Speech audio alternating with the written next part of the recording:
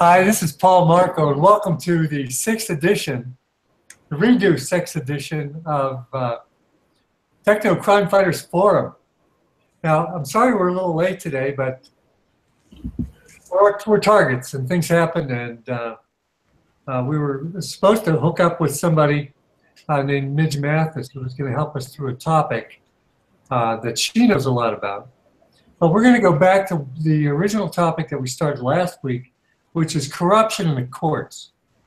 You know, when you have these things done to you, normally we're trained to work through the police and then take our issues to court where there's supposed to be an arbitrary, uh, not an arbitrary, but a non uh, partisan judgment uh, made on our cases. Well, you'll find listening to this today that that's generally not the case. So we're going to talk about corruption in the courts and the court cases and the various things that our uh, panel has been through and knows about that's going on in the court. So here's our panel. It's Millicent, Millicent, Karen, Katherine, and Ramola. Hello to all of you. Hi. Hi, hello. Would you like, who'd like to start? Go ahead, Karen. Yeah, I thought I would start with a court case that had nothing in the world to do with uh, being targeted because this happened to me, and I'm 60. This happened to me when I was about 26, and I was beginning my career with with NSA. Well, I was in a line of stopped cars on the way to work when somebody rear-ended me at highway speed. Well, it destroyed my car, and it gave me permanent back damage, and I sued the man. Well, the man turned out to be Air Force who worked for NSA. He hadn't been bothered to get insurance. So my insurance company nationwide basically set out to keep me from ever getting him to court because they figured if I got him to court, I would certainly win. And if I won, then I would be asking them to pay under the uninsured motorist coverage that I had. So they made sure that he never got to court. So for the next 10 years, um, they battled me to keep him out of court by having him uh, uh, submit falsified uh, documentation saying that he was in the Air Force and overseas and unable to come back for court under the Soldier Sailor Act because that basically provides that you can't bring someone to court who's on duty overseas because that's not fair. And I agree that's not fair. But the problem was that he was back and forth from NSA to Italy for his entire 20 year career. And the last day that their lawyer, and I'll have something to say about that, uh, the last day that their lawyer um, submitted files saying, oh, he's, he's overseas and he can't possibly come to court, and they postponed yet again, I saw him inside NSA that day. Okay, so what had happened when I tried for about a year to get um, help with my permanently uh, damaged back. And now I'm, I'm, after 10 years, I'm actually up to about 15% permanent partial disability, and it had been almost 85. Um, but when I tried to get help, I found that Nationwide had gone to my doctors and threatened them and said, if you find anything wrong with her, we'll make your life a living hell. Wow. So I, uh, I did find somebody who finally uh, uh, basically said, yes, she is injured, and uh, yes, this is a permanent partial disability. Even and when I had gone to the doctor that Nationwide des- demanded that I go to, he um, had said, yes, she is injured, and said the same thing. But then when he turned in a report to Nationwide, they got back to him and said, you'll never work for us again if you ever say this. You're not going to be uh, a witness in her trial. So he told my lawyer, he said, I can't, I can't back up what I what I just gave you in writing, or I'll basically lose the vast majority of my uh, clientele because I pretty much work for Nationwide uh, exclusively. So they were threatening my doctors. They were threatening. They threatened their own doctor. Um, when we sued, we got a response from two very different lawyers for the guy. The guy had or had uh, hired his own lawyer, and then Nationwide hired their own lawyer to interfere and pretend as if they were this man's lawyer. So we're getting two different reactions from two different lawyers. And my lawyer at the time said, wait a minute, who is representing this man? And so it turns out Nationwide went to this Air Force sergeant and said, look, how would you like it if we represent you against this woman for free? Just go ahead and fire your. Wow. So he took him up on it. He took him up on it.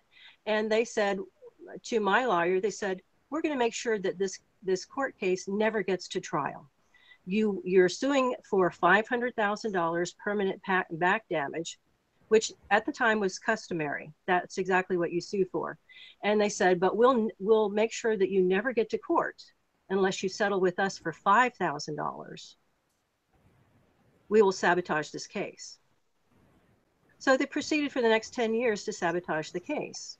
And wow. when we did find, when I finally did get another lawyer and um, he sued and got them to court, got them to pre-trial, the, the judge in it said, well, um, basically, NSA, um, basically Nationwide is a big dog.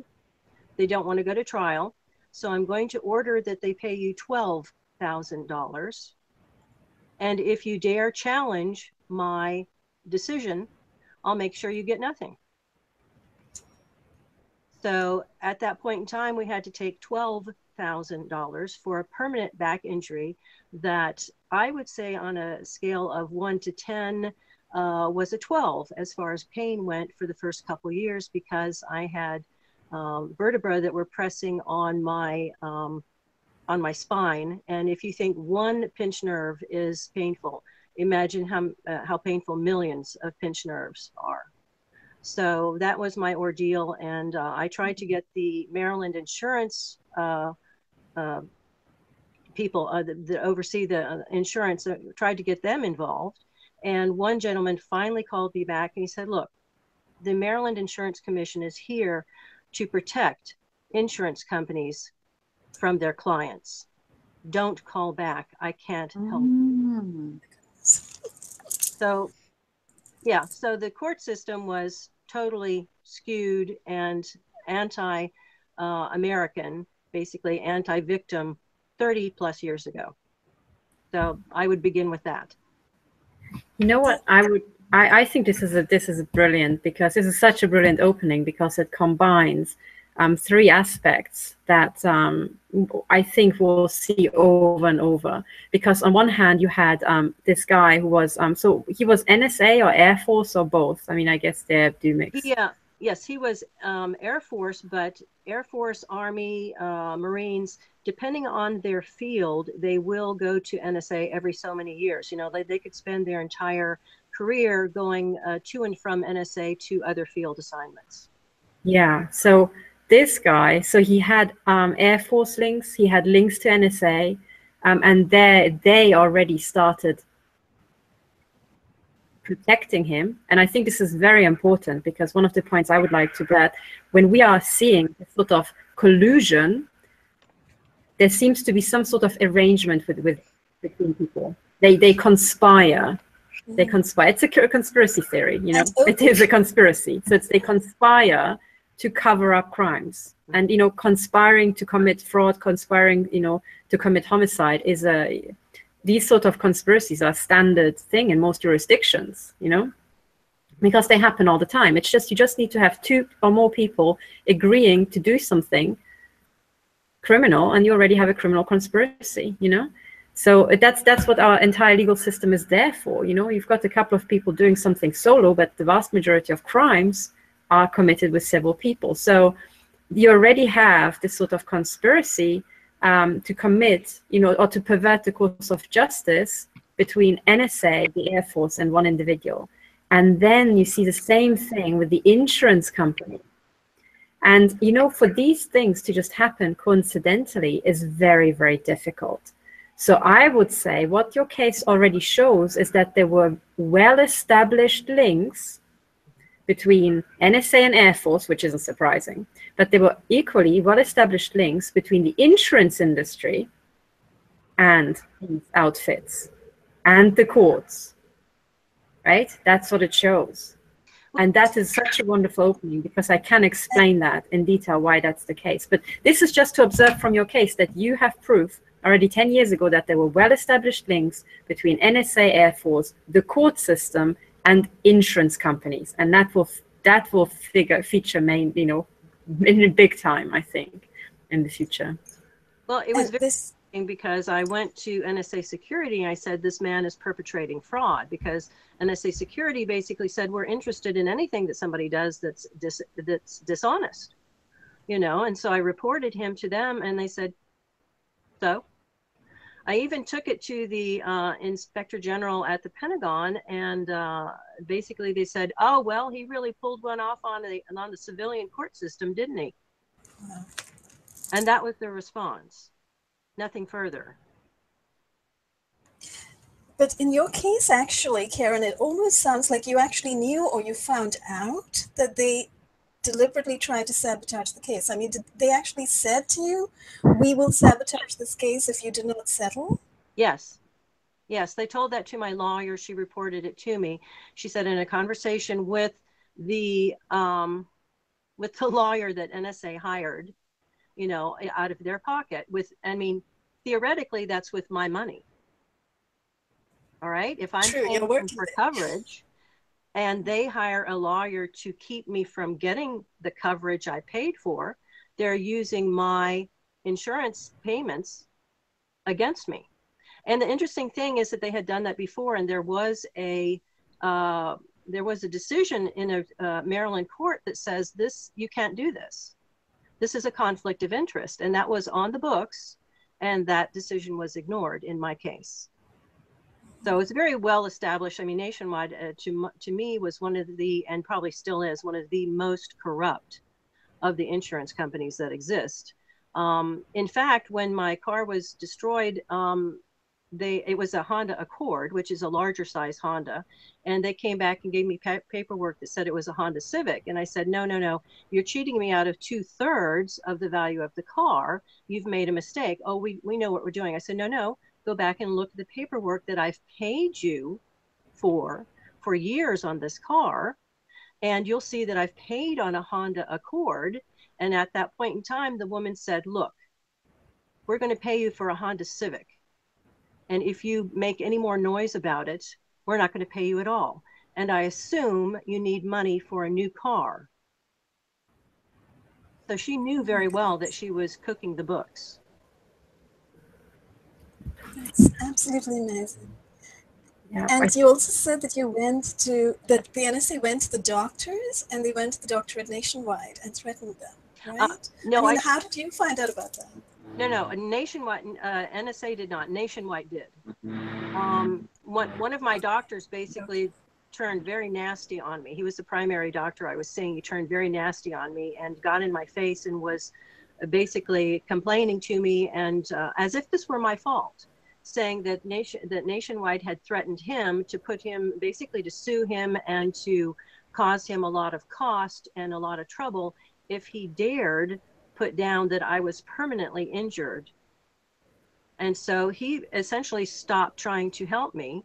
Um, and he made it that the HMO that I was that I belonged to that nobody there would help me either. I would go try to see another orthopedic surgeon, and they'd say, "Oh no, you're Dr. So and So's uh, client. I can't I can't help you." I said, "Yes, but I don't want Dr. So and So as my doctor anymore." And they said, "Well, that's that's too bad. Nobody here is going to help you but him." So they had the HMO refuse to treat me, and kept me in pain for a lot longer than I should have been. And like I said, it was uh, pretty horrific pain because the pain threshold was so high that the vast majority of days, you know, I would sleep maybe two hours because of the pain threshold. And if I was lucky, maybe once a week I'd catch about four hours of sleep. But um, it was very bad. It was very bad because the um, the spine had actually been dislocated and was pinching the um, all the nerves in my back. But so um, sorry, that just you know- so horrendous. And you've had this horrific accident, and they're sort of trying to sabotage and streamline and you know rig things for their benefit instead of simply addressing what what had really happened. well, they didn't want their uninsured motorist coverage that I was paying for tapped into. I think in, in all of Midge is this, you know, we can we can look at it like normal people and say,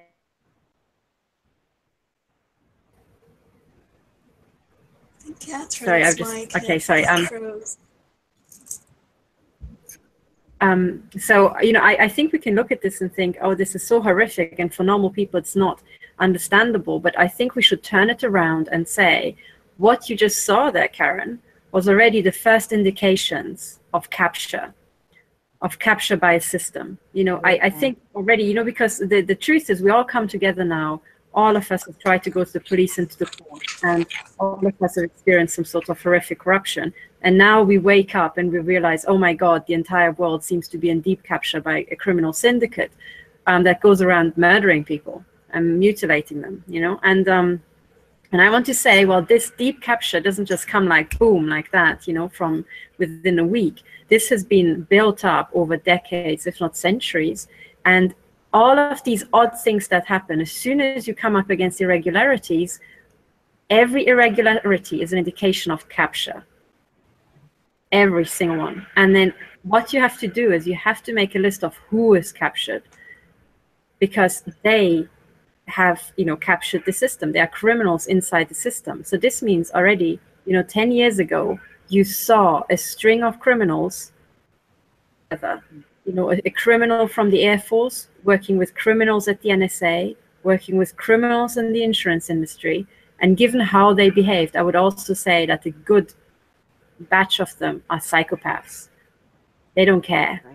They really don't care because normal people would not be able to do that. And I think the outcome from this is to just, you know, you already saw how many psychopaths accumulated in all these different fields, you know, in the insurance industry and NSA and the Air Force. And Air Force and NSA are not that surprising because everything to do with Army, you know, psychopaths have got a competitive advantage, and the same to do with spying. I would say all the people who were throwing you irregularities were actually, you know, they were um, delineating the capture um, between these organizations. No, it was it was incredible. I was like I said, um, it was actually more than 10 years ago. I, I was an innocent 26, you know, 26, 27 years old when it happened, and I just couldn't believe how the system did not work. It just it just didn't. Nothing about it worked the way that we were brought up to believe that the uh, justice system works. So imagine that corrupt 30 years ago. Imagine what it is now. I, I can, I've got to tell you, Midge has been in and out. Yeah. So she's able to, to do it anyway for next week. Uh, we can have her do her Murder Incorporated thing. Okay. Uh, hello, Midge. She's got her mic muted. Yeah. We do have people. Yeah, in- I think Go ahead. I'm sorry. I think you know it, it's so interesting because um, um, I mean that in itself, you know, people don't think about it this way because people don't approach these um, you know, these incidences and these these trage- tragedies and uh, as as a systems analyst. But what you have, I mean, your case, Karen, is such a bombshell. You know, your your whistleblowing case is a bombshell because it shows the deep capture um, in NSA. But this is also a bombshell because it shows the deep capture in NSA. And the, the, the really smoking gun, I mean, the um, you know, the link between Air Force and NSA, that's not surprising. But the link between the insurance company and NSA, you know, the fact that you were an NSA employee and NSA picked sides in favor of a man who was clearly wasted because he couldn't even arrange his own car insurance. I mean, what sort of possible interest have in favoring this man over you, that is already a smoking gun. It means that that guy had something going for him that had nothing to do with his level of organization or his intellect. Right? Think about it. What could he have possibly been involved in in that he was so goddamn precious for NSA that they would, you know, pull off something like that? Well, knowing the my first impression at the time was that he was a good old boy. Basically, NSA security looked at him as another man. He was a man in the military, so we're going to basically blow this off because of stupid woman. Who cares, you know, what happened to her? We're going to protect our own because a lot of military, uh, ex-military, go into NSA security. Well, the interesting thing was Yeah. I, I got nationwide insurance through GIBA, which is uh, NSA sponsored. It was uh, helping people get insurance at a special rate. And when I went in to speak to them, um, I spoke to Mr. Derwin, who uh, I asked him, I said, I want to put in the files a complaint about how very terribly Nationwide treated me and how they cheated me out of coverage so that anybody coming to look through this, you know, to pick out insurance would see my complaint letter. And he said, Well, I'll let you write a complaint letter. He said, and I'll file it, but I'm not going to let anybody see it. I said, what? He said, No, I'm not going to let anybody see it. I'm going to put it in the file, just like you requested, but I will not let anybody see it. And after he retired, gee, I wonder where he went to work. I do believe he went to the Yeah. insurance uh, industry. My goodness. Exactly. Exactly, Karen. And now this is the smoking gun. And this is now I'm going to just put this in because it will be relevant for, I think, everything that we'll be talking about from now on. Because we already talked about how on earth can it be that we've got this, this global Phoenix program, you know, the targeting of people globally. How on earth can this be? And I, I said, um, you know, in, in previous um, occasions that the intelligence agencies have morphed a long time ago. So forget about Five Eyes, you know, which is the UK, Canada, and the US and Australia, and you know, what's what's the fifth one? You know, Canada, New Zealand. Um, the English speaking country, basically. Australia. exactly, Australia and New Zealand. Do they count New Zealand separately? Whatever, you know what I mean. So Five that's the Five Eyes. right? But but there are already reports, um, you know, on on for example the Richie Allen show and and many other places that oh, it, it seems to be the case that um, a rather you know sounds like a kind of militant um, German intelligence agency called DVD seems to have an office in the MI6 building. Hmm. You know how how interesting. You know, any sense if you think about it. Um, you know, classically, but it makes perfect sense if you think well these intelligence agencies have morphed a long, long time ago, and they are all part of the same entity. And all these intelligence agencies are just branch offices of the same one agency by now. And then, you know, it's also a small leap, and I can explain this in greater detail maybe another episode, but this seems to be the case, you know?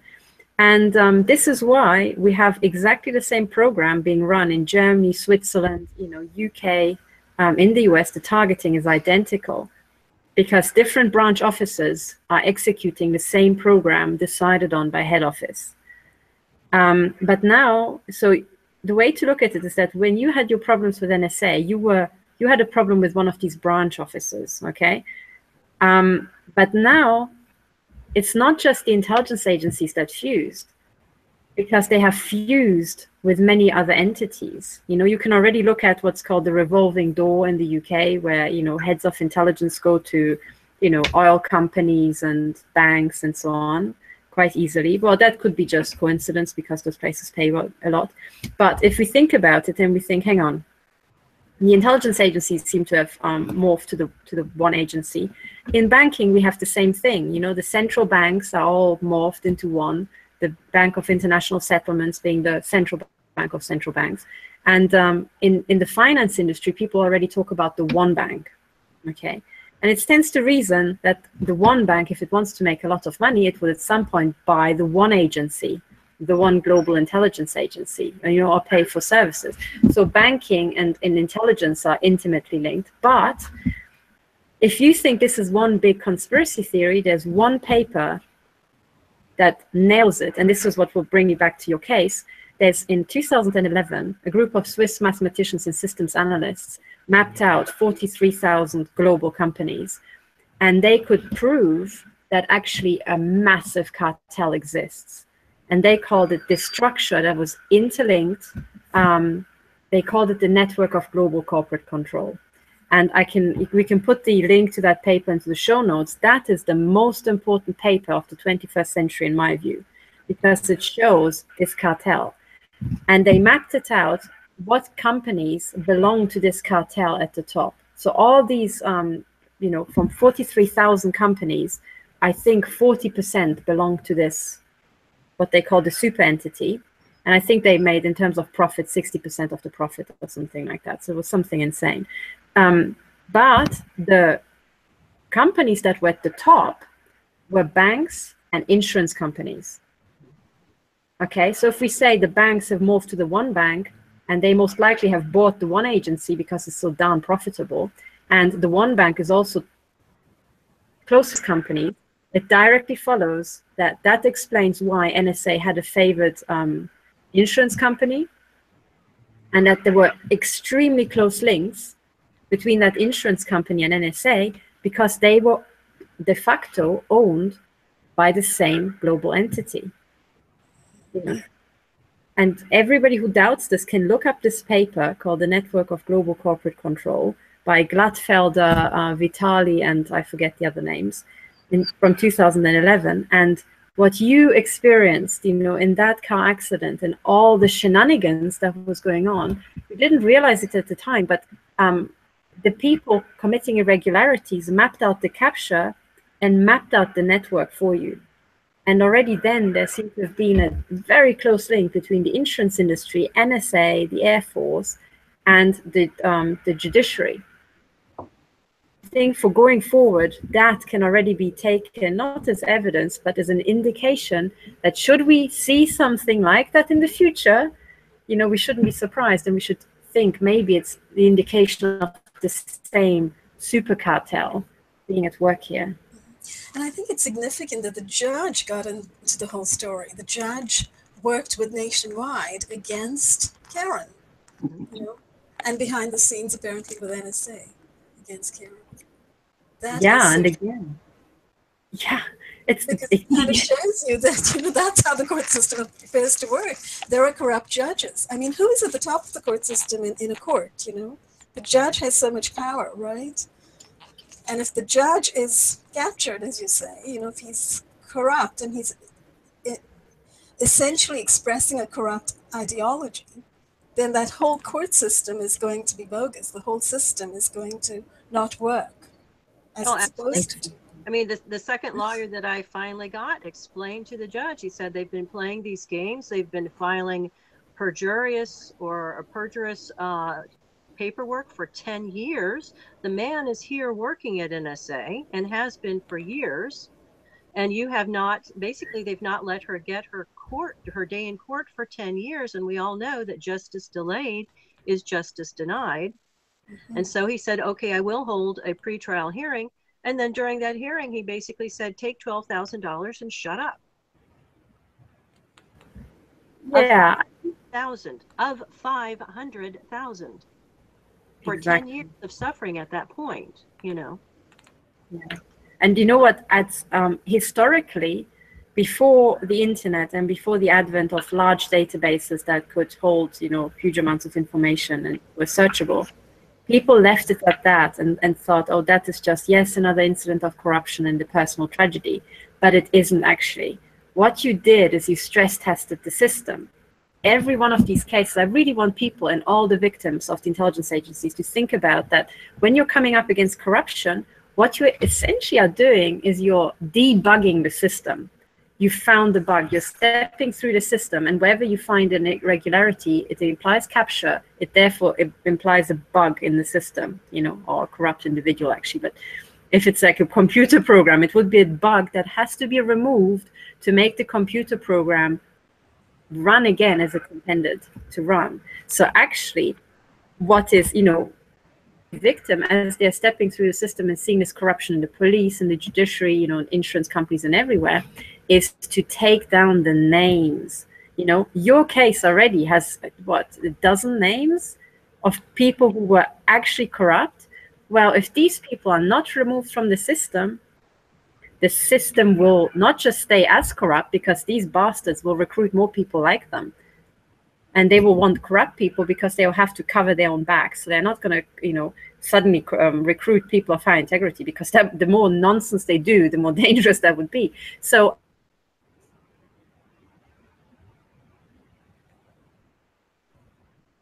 Okay, we lost Katherine. System start horrible. We have to track down these bastards, and they, sadly, their careers have to be terminated for all our, our benefit. Well, I did say uh, at one point in time, a friend of mine at NSA was working in the area where they take in resumes and then they will uh, they'll look at him and say, okay, this guy has a, you know, he's basically got a problem with drunk driving. We're going to throw his resume out. Uh, this person has a conviction for wife beating. We're going to throw his uh, resume out. But uh, Vicky told me at one point in time, she said the orders came down from NSA security. They said, don't take any of the resumes and toss them out, no matter what the person has done. We want to see all of them. Do not pre-sort. Oh my. And she Hang said, say that, say that again because they, they interrupted you, Karen. They interrupted you exactly when you they, they said, don't take any of these resumes out, and then they interrupted you. So it must be important. Oh, well, they, yeah, I said, you know, it doesn't matter if this person has like a, a, is a child molester or a, you know, has any charges like this. We want to see all of the resumes. It doesn't matter whether they've been deemed insane or had some kind of problem with the law. We want to see them all. And that was unheard of because the, you know, usually those, her job was to give them the creme de la creme of the um, people who were applying to work there. But all of a sudden she said, I'm passing on resumes of people that I, I can't even believe they would consider hiring. She said, I had to leave the job because I was so stressed out. I had to do something else because I saw the monsters they were hiring into NSA security. You know what that is, Karen? Again, that is the cartel Mm-hmm. taking down NSA through deep capture. That's what you saw. Because they, and I'm saying they did this over a number of years, right? And they did it by putting corrupt people into our most, our systemically important institutions. And that's, you know, by the time you blew the whistle, you saw the consequences of that, you know? But serial killers and pedophiles and, and these people were put into NSA in high positions. Well, it uh, seems to have really uh, gained momentum after 9 11. I was talking to Russell Tice over lunch at one point, and he said, Well, you know, after 9 11, basically uh, Hayden hired somebody, uh, L. Kemp Ensor III, to be the head of operational security. And under him, all of these psychopaths seem to be infiltrating and be hired into NSA security because they were so afraid that um, the real story about 9/11 would leak out, and so they were basically taking draconian measures to have the nastiest people possible to shut up NSA analysts from telling. What I've told is that I've been told by two analysts who worked that problem that they had all the information they needed six months ahead of time to stop it, and not one person had to die on September 11th. Not one, because they could have stopped it all. And then that brings us back to um, the possibility and the very likely probability that the um, upper echelon of NSA may have taken out insurance policies on the people they knew were going to be killed or counted on being killed uh, in 9 11. So that is what we would have touched on had we been able to get our guests today. Mhm. I mean, all of this is just such huge disclosure about what's going on inside, inside NSA. I have one question. When you said that, you know, they were hiring all these people with criminal records and psychopaths and so forth, did they hire him, hire them also above the level of, of the analysts, the intelligence analysts? This I don't know that because Vicky only addressed security and she left. So she did not see if it expanded from security to to hire people. But I would, in my opinion, I would put Bill Black certainly as one of those people. Mhm. Um, he uh, uh, just before 9/11, uh, Mi- Michael Hayden was uh, DIRNSA, and there was a woman who was the deputy. And um, during the time period which these other two analysts had told me that they knew about 9/11, she was removed from being deputy director and sent to London. And that was Barbara McNamara. And Bill Mhm. Black Jr. was brought back from retirement to be the deputy Mhm. while at 9-11 happened This is all on Wikipedia, I recall reading. Yeah. Well gee why would you remove a deputy director who actually was wonderful a wonderful person honest integrity um, nobody i knew who had anything to do with her had anything uh, uh, slightly bad to say about her they all revered her and admired her and yet this person of integrity was removed before 9-11 during that six month time period that um, I was told they had all the information they needed to stop it. And Bill Black was brought in, brought back in as deputy director. Right, to replace her.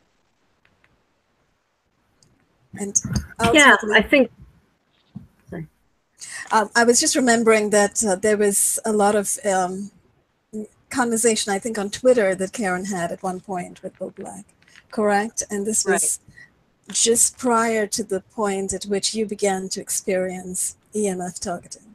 Oh, yes. Directed energy weapons. correct? Yes, I uh, at at one point in I think the fall of 2015, um, I and here's another uh, lawsuit that I'm involved with. When NSA fired me, pushed me out, um, I sued them uh, through the EEOC, Mhm. and uh, they uh, basically did all kinds of shenanigans to try to sabotage that case. But the judge saw through it, and he said, "No, I'm accepting this case," and he accepted it in January 2010 and it is still there on the dockets. It's 2017. It's still there on the dockets, waiting for a time period, and we've been told, "Oh, we're just backed up."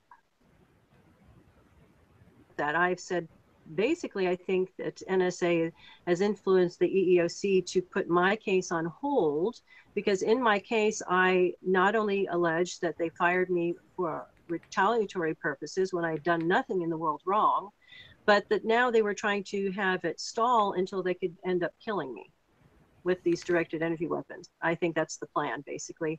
And they have uh, threatened, coerced, or bribed the EEOC to cooperate. Corrupt court case. Another court's taken Involved in- over. Yeah, and the EEOC is the only uh, means that a person who is hired into the intelligence community has uh, for recourse.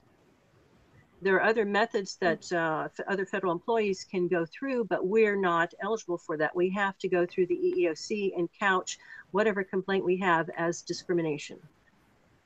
So that also obviously is in deep capture because the you know there's no way that this case um, really needs to have seven years sitting on the docket. But they don't they don't want uh, my allegations about NSA stalking and harassing me and breaking into my home to be heard. In fact, multiple times they've put in uh, requests that the judge just dismiss it summarily, meaning don't look at her evidence, don't read the brief, just decide in our favor and dismiss it because we say it's frivolous and not worthwhile. Therefore, just believe us and dismiss it. Don't look at anything. And that's all part of this huge cover up about the weaponry, that this weaponry is in fact being used on you and on many people, you know, around the country. It's this desperate desire to cover up this weaponry, the use of this weaponry. hmm And it's it's interesting that they're doing it here to you through this court case because you, I mean, Katherine and I were talking about this just the other day.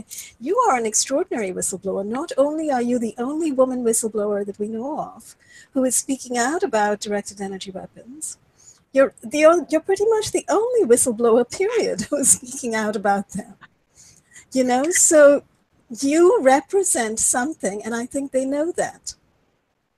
And uh, unfortunately for them, your whistleblowing is already out there in the public domain. Do you know what I mean? I guess they're trying to clamp it down, but uh, through the courts. But we have your story. You know, we all know your story. Well, and I'm very grateful I, for too, because if something happens, then the story stays, and it, they will not have snuffed it out. You know. Mm-mm. Never. No, I think never. And I think what these people don't realize, and I keep banging on about it, and I should bang on about it a bit more until they get it, is that these, I mean, the people who are doing it are in their, you know, late 60s. Um, the people above them are in their 70s. Um, and, um, you know, the people who actually own this entire, you know, circus, um, 70s and 80s. And those people um, do not understand the internet or modern technology in any shape or form. So they are still doing same old, same old dodgy dealings, and they really don't get it. They don't get the nonlinearity of the internet because, you know, um, what's different now is in the olden day, days, they, their way of snuffing stuff out really worked, you know. But now the methods that they're using, it's like putting petrol and Semtex on the fire, you know. That's just what it is. And the mechanism that blows it up is the fact that the more nonsense they do, the more evidence they generate, the more people will talk about it, and the more people network. And typically, these people do not just violate one person, because they're psychopaths, they leave a trail of people. A trail. So the only thing that you need to do is link up all these people. Thing, you know, you amplify um, their problems. And um, I think what we, first of all, what we should do, because this is the, um, you know, to restore justice and, and for, you know, moral and ethical reasons, is go after these people. But then there's a second um, argument is that for our own survival, we have to go after these people. We have to go after these people because Just they are not, human rights. It's This is just fighting for our basic human rights. You know, nobody has the right to do this to us. Nobody has the right to turn stealth weaponry upon an activist or a whistleblower or a physicist or a pastor. No one has the right to do that and get away with it. You know, covering it up under national security and classification. These are classifications to conceal crime, as we've talked about before. And we Yeah, have to go and- and that. Totally, and, and that's you know um, the fact that they violate our human rights and rights to life is the individual justification for it.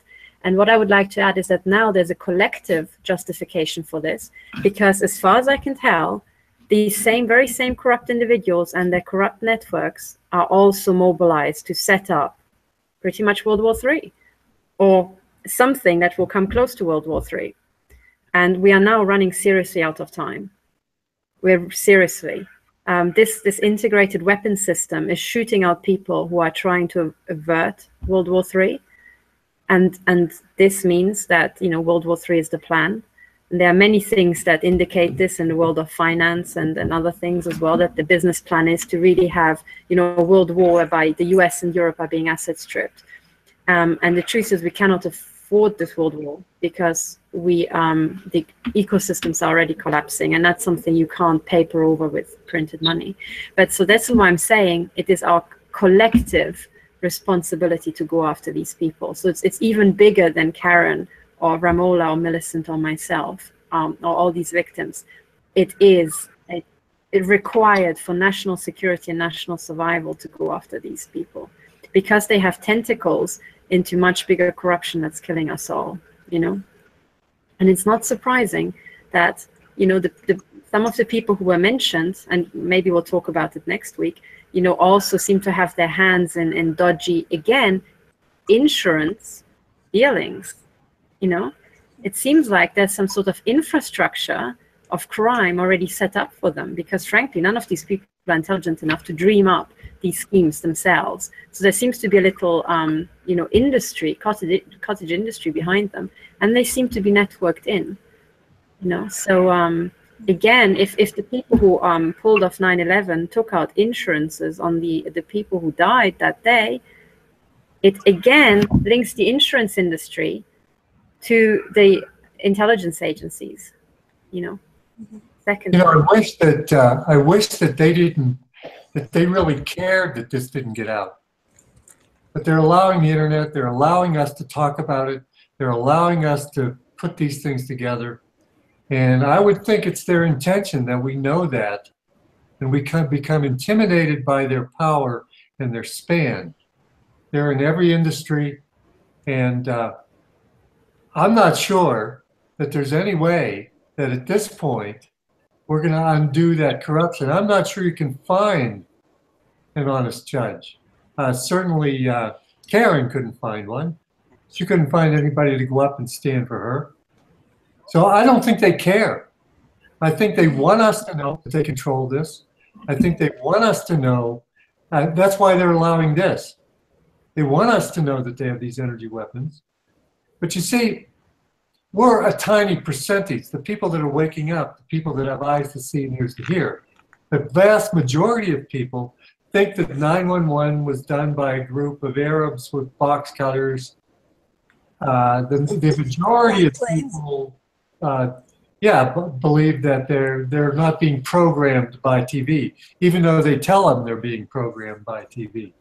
So it's it's like we know but the vast majority of the people who are who, follow these systems uh, don't know how deep it is.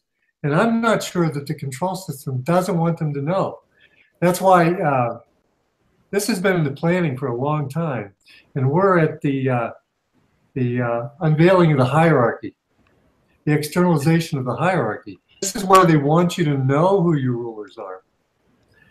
And I think uh, we're getting people in the chat room asking, well, we really know that the court system is corrupt.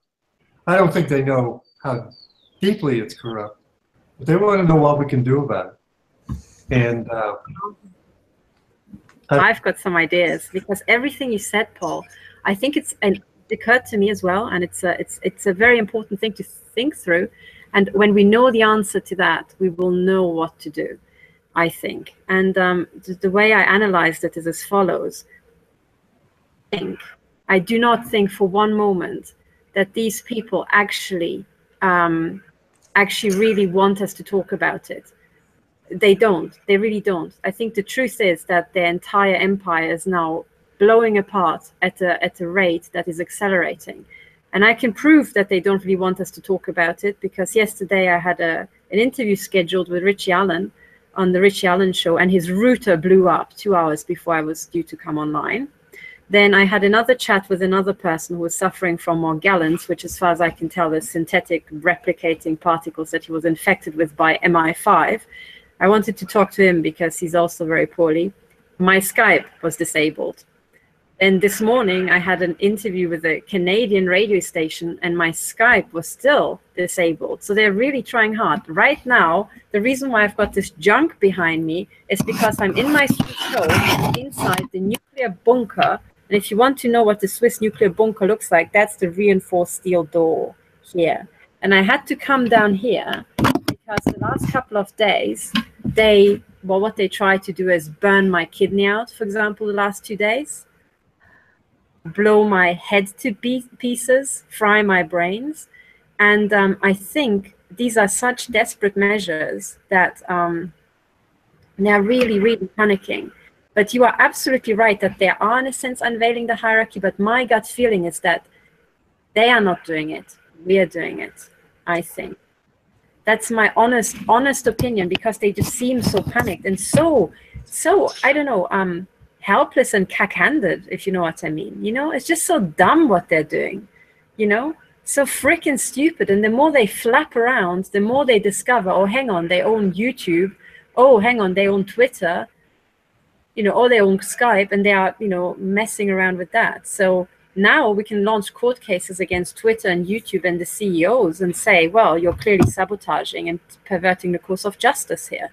Mm, you know, go figure Taking Twitter to court, you know, over over the sabotage. So they're giving us more am- ammo, and they're giving us more ammo because they don't understand the internet. And so this was just circumstantial evidence, but there's I, I can prove that they don't know what they're in for, because what we're now exploring is network mathematics. These are the mathematics of complex networks. So the internet has, is still growing. People are still coming online.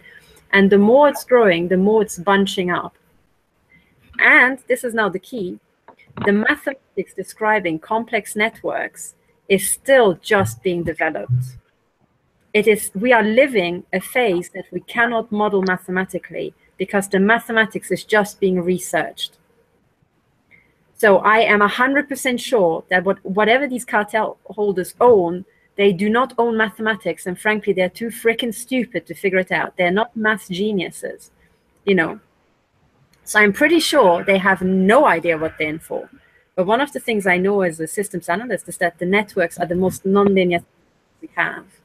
And I think that's what they're seeing. And frankly, they must be crapping themselves how quick they're going after them. You know. Can I can you guys hear me? This is Midge. Oh, Can you- hi, Oh, Rich. Hi. Can I just say a few things and go back to the the judges? I think Yeah. you know because I've been a way to, I have figured out a way to identify the ones that are profiting from this profit sharing program and who have been implemented into this program. So what I've been able to do is I've been able to identify my doctors and the judges and the attorneys who are part of this system mm-hmm. And I even confronted one of the attorneys face on and I showed him what I had.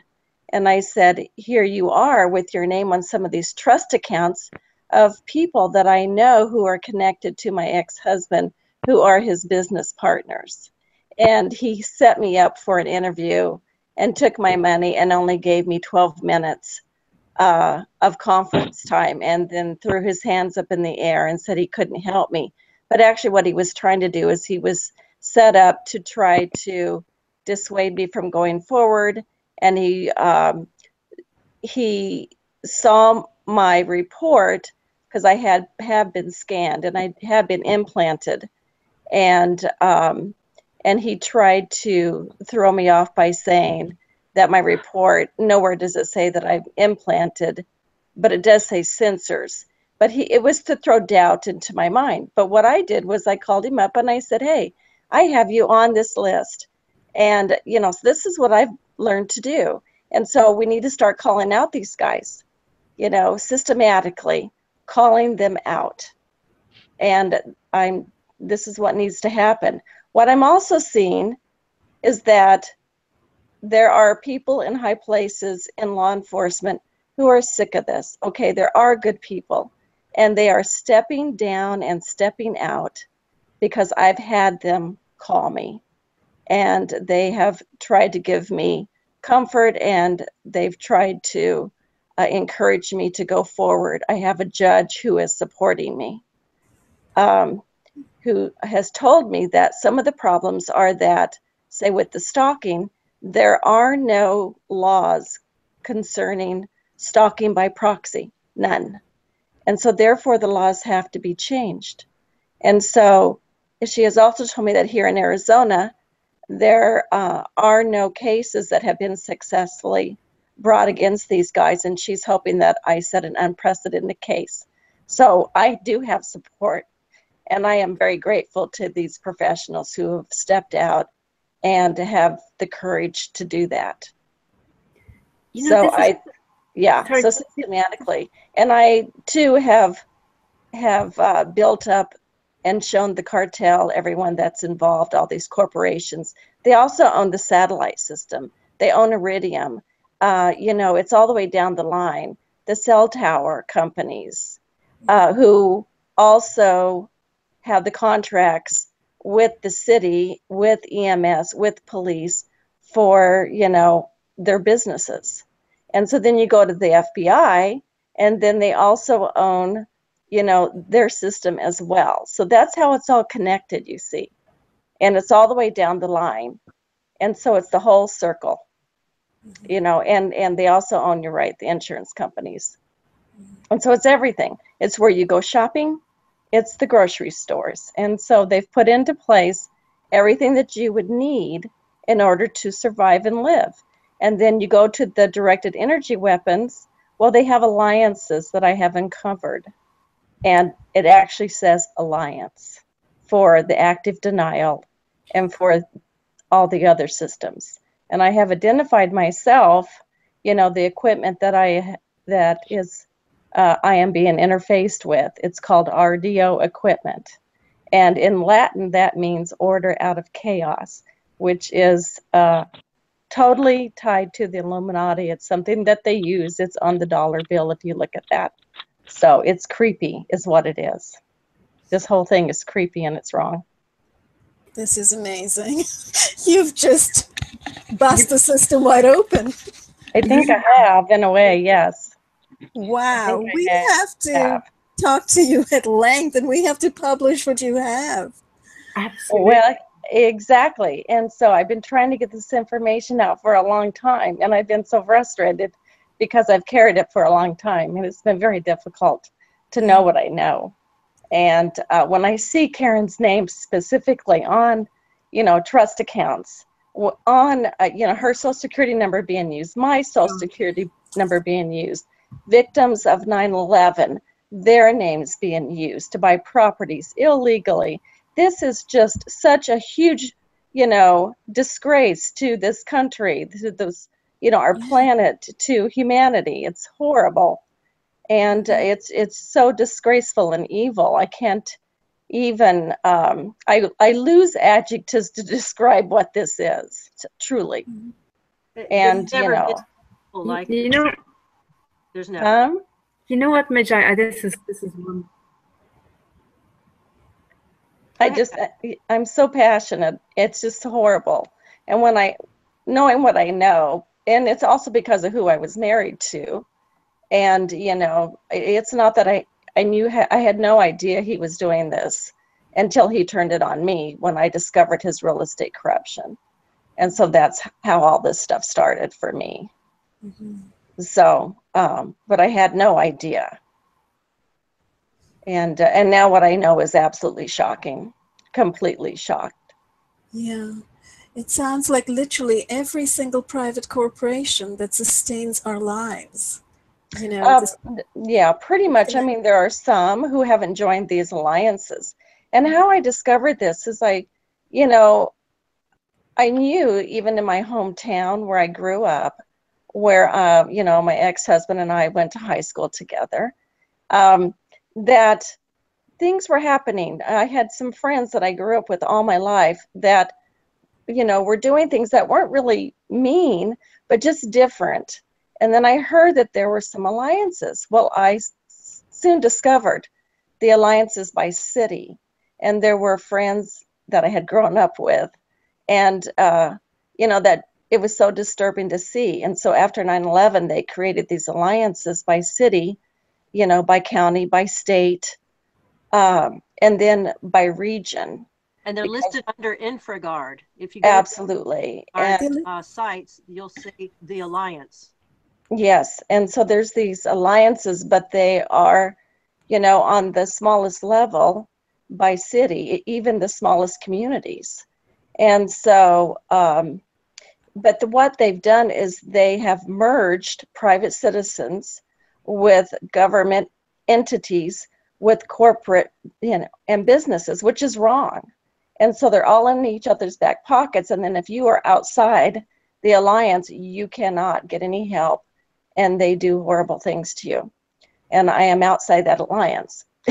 so, you know, but, um, you know, I've been able to spread the word and um, I have pulled up all the alliances here in Arizona by city and by county.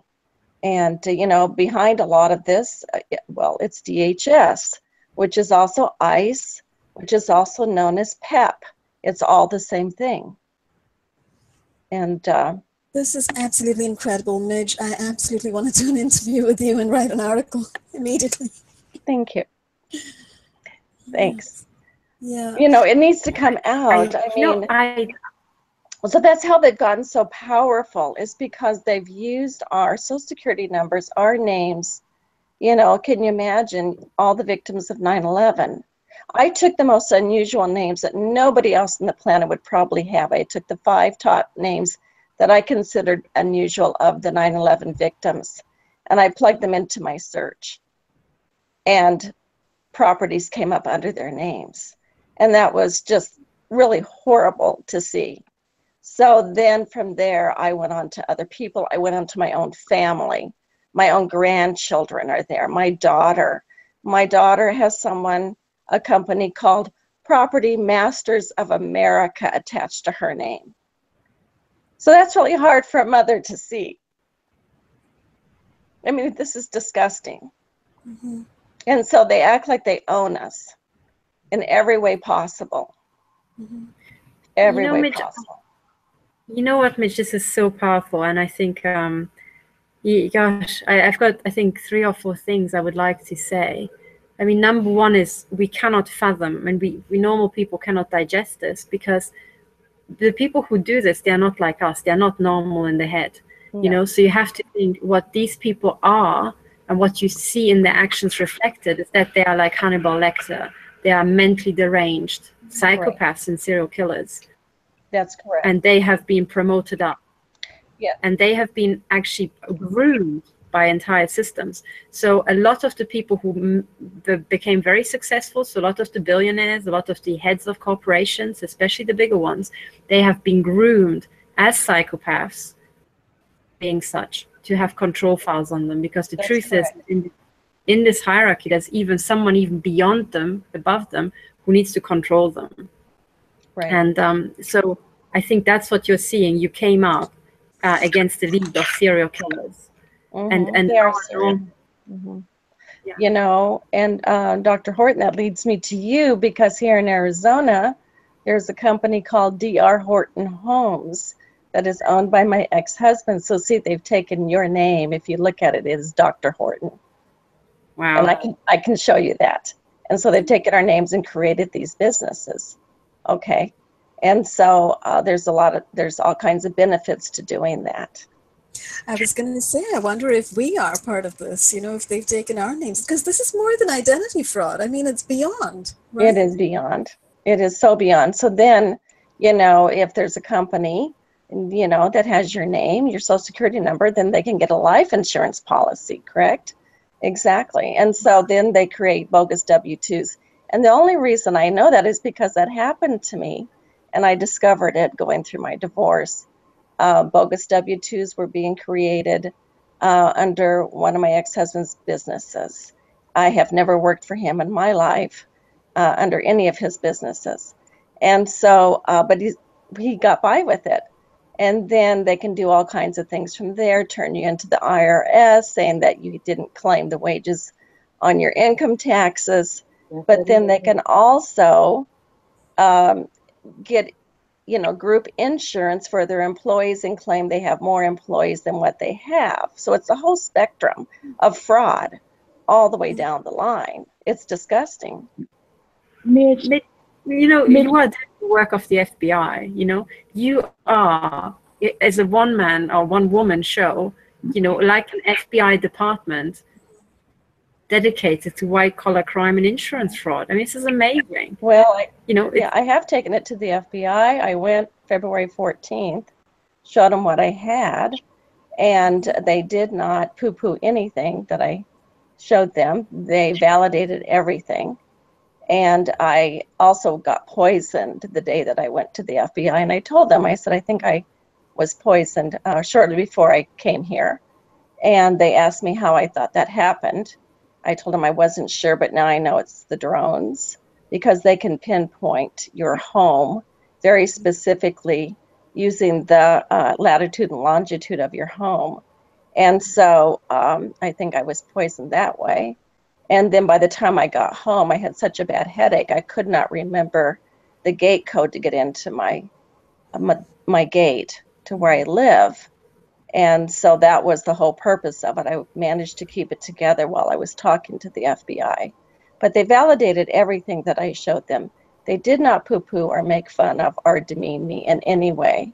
And um, they said that I was not under police surveillance because if I was, they would not be able to talk to me. That my ex husband has his own surveillance company, is what they basically said, which mm-hmm. is DHS. And you know, DHS, you know, that is a corporation that is mm-hmm. exactly a corporation. And so they're able to do all this under that corporation. They're and they have. Many, many businesses under that corporation. I, I would like to, to say something. I would like to, to one, validate what Midge is saying. Also, throw out what's been told to me by the person who is using me um, and is also, I guess, supposed to be a handler of such.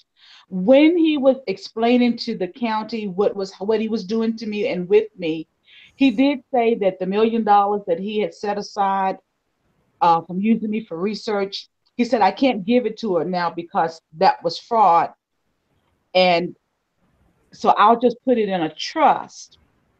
Mhm. In 2000, I think it was 2002 or three, he gave me his business card. In fact, I had it laminated just yesterday. Can you all see that?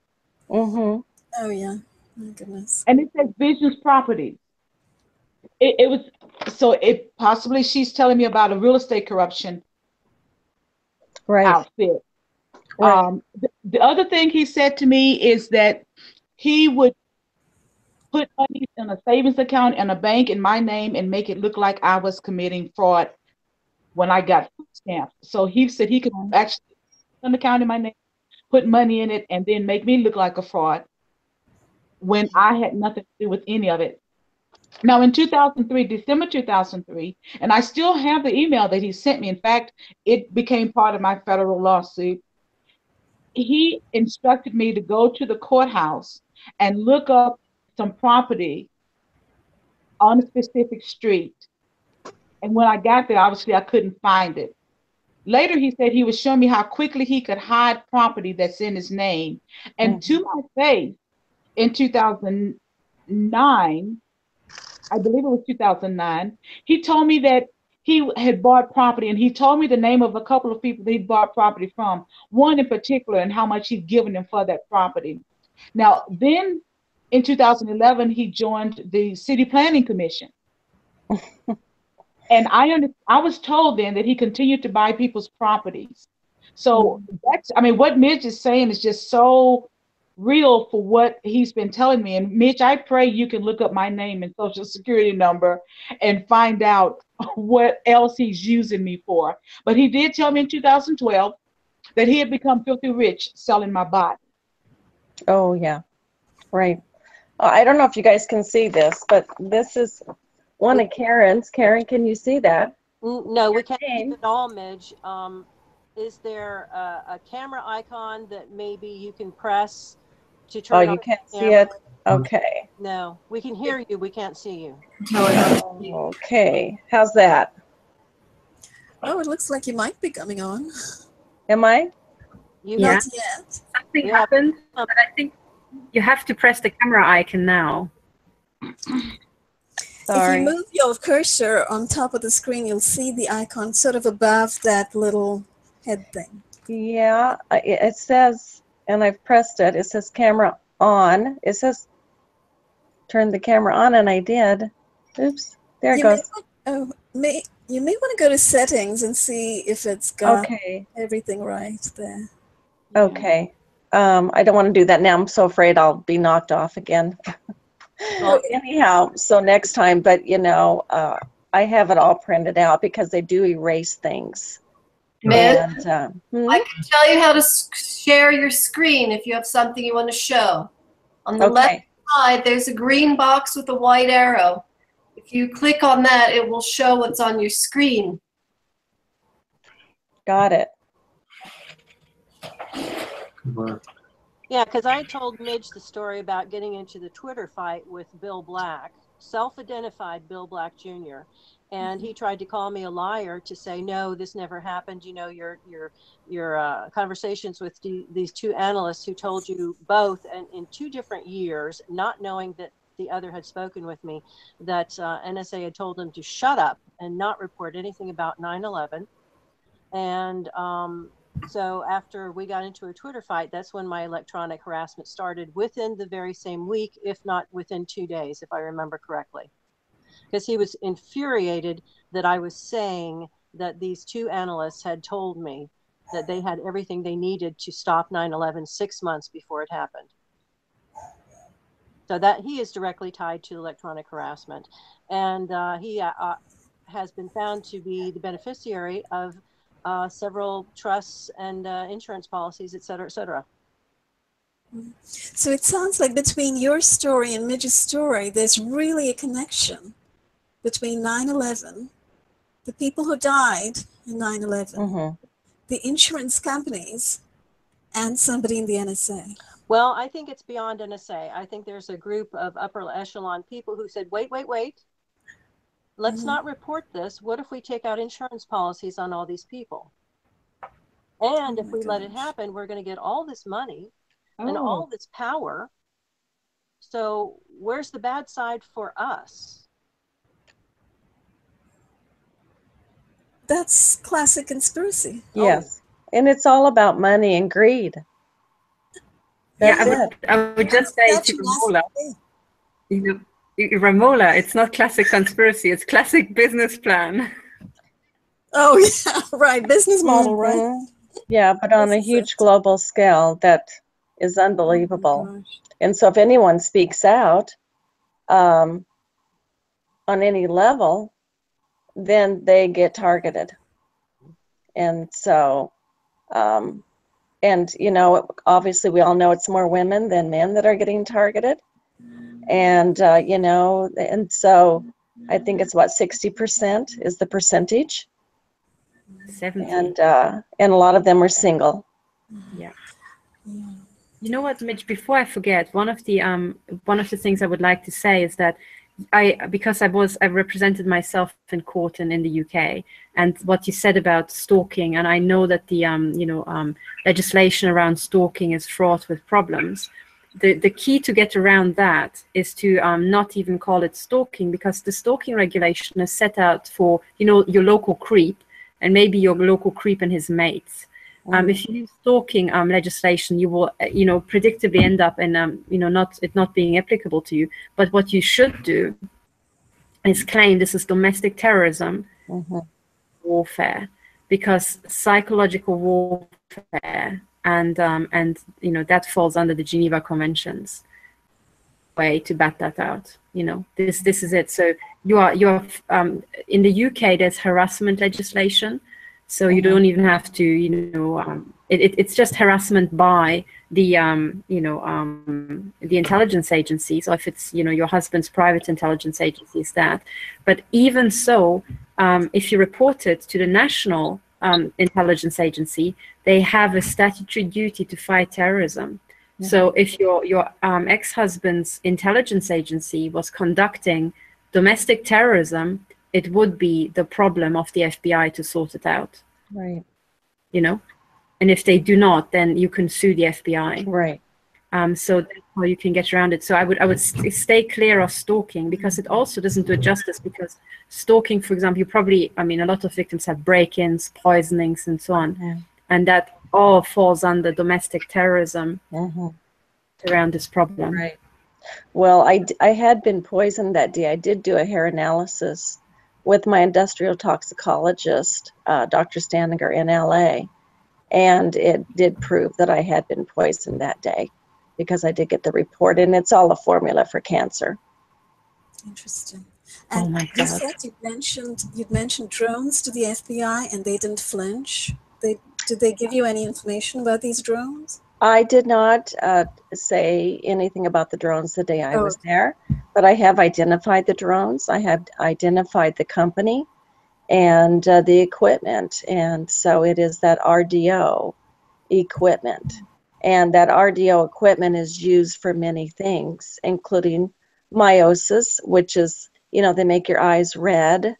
And so that is the the key equipment that is being used along with the active denial system. And there is an alliance here in Phoenix of that active denial system of um, different businesses and people who have bought them. And so they are just the biggest bullies ever, you know? And so, you know, uh, these cowards, they wouldn't be able to take half of what we have been, ha- half of what we take.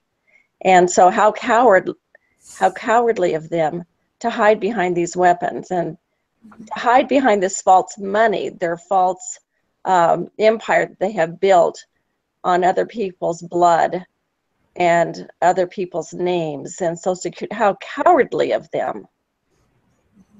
Despicably predatory. Yes, Here we go again. Predator prey nation. We've turned into a predator nation that doesn't Right. make money by by um, designing and producing widgets. We're making money off of killing each other. exactly. And I'll hunting tell you. people down. I can give you some historical reference. You know, back in the burning times, in the middle of the last millennium, um, part of the purpose of the burning times and the witch trials was to relieve the women who had inherited money from their husbands of that money from their husbands. Oh wow. They would put to a Oh. third degree, kill them, and then the state would get their money. So this has been going on for a long time. It's just it's it's really perfected now. hmm It is. I mean, I've said before, this reminds me of these stories This- from really biblical days where there were certain towns or certain countries, certain regions that would be going through um, uh, a total lack of food or whatever, and they would actually, uh, they were starving. And when a stranger would walk through the town, they would throw grappling hooks over the balconies and grab a human being and drag them up to the window, kill them, and eat them. Oh, jeez. Here we are back again in a techno dark age that Yeah. essentially is doing the same thing. Mm-hmm. I, I, I think what we are what we're seeing, um, you know, the way I analyze it is that um, what what you what you know, Karen, you saw with all these different cases, you know, that you listed, is the gradual um, capture of an entire organization. I mean, the truth is, all the intelligence agencies started off being owned by a royalty. So, if you like, they were in deep capture to start with. They never belonged to the people. But even so, you know, if you, as you hire people, there are a lot of honest people. And if you want to pull off some criminal, large-scale nonsense like the cartel does, you you you extend your tentacles down, and your the deep capture goes down into all the ranks. And that's what you saw. And Midge said something like, um, you know, a lot of the good people they um, they try to they um, speak to you and they come out and that's a really good thing but then good people also tend to quit for example Bill Binney and Kirk Wiebe quit you know and that it, know, it's understandable because sometimes you feel you don't have the power but what it actually does is it increases the concentration of the corrupt criminals in the organization because the last remaining you know people holding the fort are leaving. So the entire power structure is left to the Mhm. corrupt. So there are lots of po- police officers leaving the police force in the UK exactly because of this. They're on Twitter saying it's so corrupt. I just couldn't work there anymore. And every single time I read this, I'm like, no, you were one of the last honest ones. What are we going to do now? You know? Well, So, you um, also have compartmentalization. They can have an entire compartment, like DynCorp. I'm sure there's plenty of uh, people that work for DynCorp that are fine, upstanding citizens, unless they're in the division that does child trafficking, and then they probably know what they're doing. Also, I'll tell you, as a as an organizational psychologist, they recruit for these personalities, these psychopathic personalities. I remember several years ago. It's like probably ten years ago now. They were looking for uh, what they called entrepreneurs, which could run independent businesses for companies. And they wanted to find these individuals. Well, I looked through this thing, and it was I, the, the thing that occurred to me is, well, this would be really great to have this guy out there working for the corporation, but I wouldn't want him living in my neighborhood because it was a total psychopathic, driven, focused. I don't care what it takes to get ahead. Blah blah blah blah blah. And that was uh, ten years ago in a, a relatively uh, harmless. I mean, they weren't recruiting policemen; they were recruiting people that could run these independent things. Of course, it does help if you have a psychopath.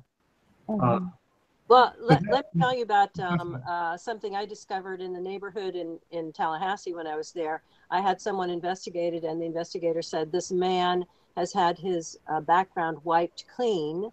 And I noticed that he, his wife, and his three boys, who were uh, ages 12 and maybe 16, 17, they all would use the directed energy weapon on me when I visited a neighbor of theirs. But they were renting, they just turned up mysteriously and they seemed to be running actually the entire neighborhood effort against me when they would go out to their car and beep a certain way then the neighbors around me would know to turn up the devices uh, just an, a notch and they would do that you know four or five times a day so they were listening for this particular person to beep but he was teaching his children Mhm. to kill Mhm. with the directed energy weapon 12 year old 16 year old, 17 year old Mhm. and his wife and they're on facebook as christians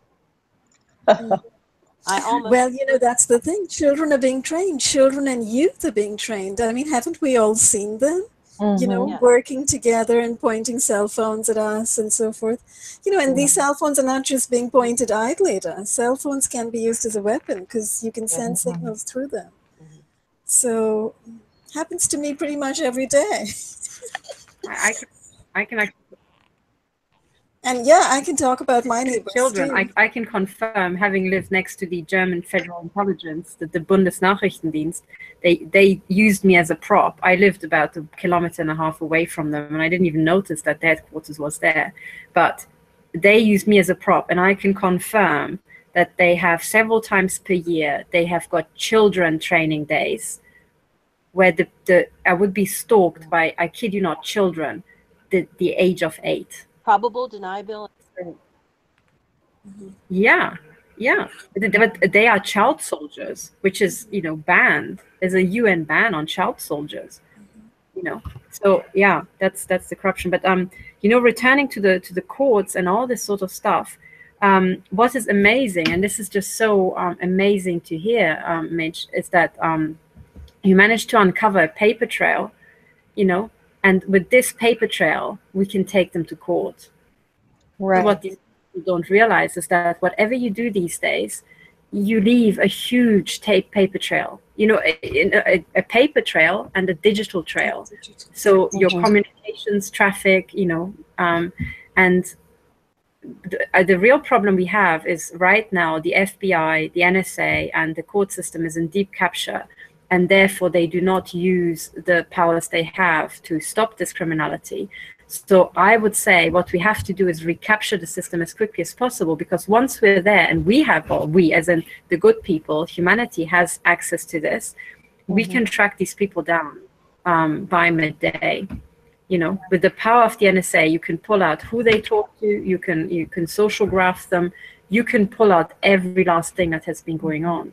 And uh, you know, a historical example is the, the, the Stasi they accumulated these files and they were super powerful but when um, the um, the entire system broke down and was dissolved they panicked because suddenly they realized their archive um, um, detailed and extensive it was actually storing a lot of dirt on them Mm-hmm. you know and they started shredding it all in a panic now the good news is that they cannot shred it because these databases are across so many platforms it is impossible to erase the information Right. And then, you know, what else is going on is that all the cell towers are going up everywhere.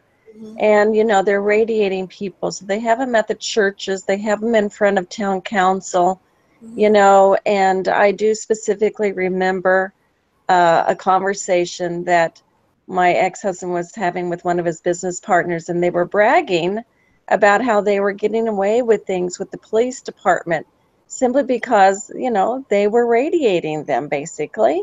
And it changes everything okay? And that's a form of, of a, a massive type of mind control. Yes, and it's serious. It's true. And so they're putting them up in, in uh, front of the town council specifically and and you know front of the police department the fire department you name it. And this is what is happening to our country. They are doing massive mind control. And you know even with my own home uh, i've been and i can show people how to do this. It'll show you what wave you're in your home. Now I've, I've been a realtor. That didn't used to happen. But you go on there now you can see that it says beta. And you know that is just so odd um, to see that um, as a former realtor because no you know you would never see anything like that before. But so they can switch that up. Uh, they can do that remotely even with the smart meters. Everything is done remotely. And i do believe that uh, there's sensors in the walls of some of the newer homes that uh, they're able to engineer them. Mhm. and so they can target people easier. Mhm. and uh, you know i mean it's so it's so horrible. Mm-hmm. You know if they target an elderly person and they say they have some money or they have a nice piece of property you mm-hmm. know then they'll go after that person and then try to get their inheritance or their trust account or whatever the case may be. And, And I so i know some specific facts yeah They're doing that, and this sounds like a whole subject for separate focus. Absolutely, you know, yeah just the technology, just the neurotech that's being used right There's no right. doubt. There's no doubt with these cell towers, with the GWEN towers, Mhm. ELFs, and with HAARP. There's incredible mind control and brain entrainment going on. There's right neural tech. All of us, in fact, are being hit. You know, and this this Right. neurotech, in fact, can be so precision pointed that you know not only do we have child soldiers, we have children whose brains are being messed with. Yes, yes, exactly. we- And they're putting them, yeah. They're talking, you know, the school districts into, you know, putting the cell towers, you know, at the schools, which should never happen. Never, ever should that happen. Incredible. So, you know, I feel so sorry for our children. I really do. It's uh, it's a huge setup for a horrible, horrible life. Yeah, You and I think this is why we need to kind of pull out the stops and, you know, investigate every portion of this and talk about these things. Because we need to publicize this information. People need to know. People need to hear this. You know, people need to see the connections. Because nobody Right. does. We have a media that's totally defunct, absolutely Mhm. corrupt, right? There's no Right. information we're getting there. Well, They're owned as well, and then they're threatened. You know but also everybody's you know making money. I mean all the way down the line i see now that you know um, they're making money. That is this is a global profit sharing organization. And so you have a police force who are making money uh, you know in real estate that this group has uh, put this together. Well guess what? They're going to be loyal to that that cartel to that uh, you know corruption rather than to be loyal to one of us who's being targeted because they they don't want to give up their uh, pocketbook you know Mhm. so and it's just horrible that so many people live like that but it's true you know the dollar speaks i guess over humanity for I- a I lot of guess I have to I have to jump in here and say that if you think it's about money, you're way off. This is about control. Uh, yes i agree System above uh, that is way above money. I mean, look at the look at the Senate and the Congress and the and the Supreme Court. They're all Right. bought and they're owned. They're billionaires. right They're they're they're, they're compromised by pedophilia, Satan, cannibalism, and it all goes up to the control system above them. hmm It's pervasive in society. I mean, we've got we've got people who watch TV. Can you imagine somebody watching TV? They tell you it's programming. It was invented to talk to people who were dead. That was the original cathode ray tube, and it was originally used by Hitler to publicize the uh, the uh, the Olympics. It's never been anything but a brainwashing tool, and now it's so perfected, and they put so much. In, try to talk to somebody about this that watches TV hmm do it. You can't do it because they're brainwashed. They hate you because you're bringing this up. You're ruining their parade.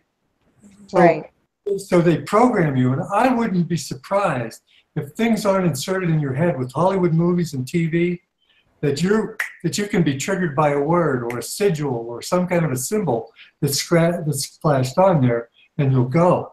I mean, that's beside Common Core in in the school district and the Wi-Fi in the school system hmm very deep capture. I mean, uh, Katherine, when you said that, it was it's like deep capture, and that that really that really says exactly what it is. We're in all the systems that are shaped like a triangle are in deep capture, especially if they're publicly owned, publicly traded, because you know that's a stock market. That's a game anyway. That's just like this, you know, trading your birth certificate and, and buying. Uh, uh, stocks on your uh, on your death. Uh, it's it's all a game for them. hmm Uh, so so it's pretty deep capture, Katherine. I think. Well, I'd like to say something about the, the children. Look at the campuses today where people get absolutely out of their minds hysterical when a speaker from one of the other side comes and they don't want to hear them.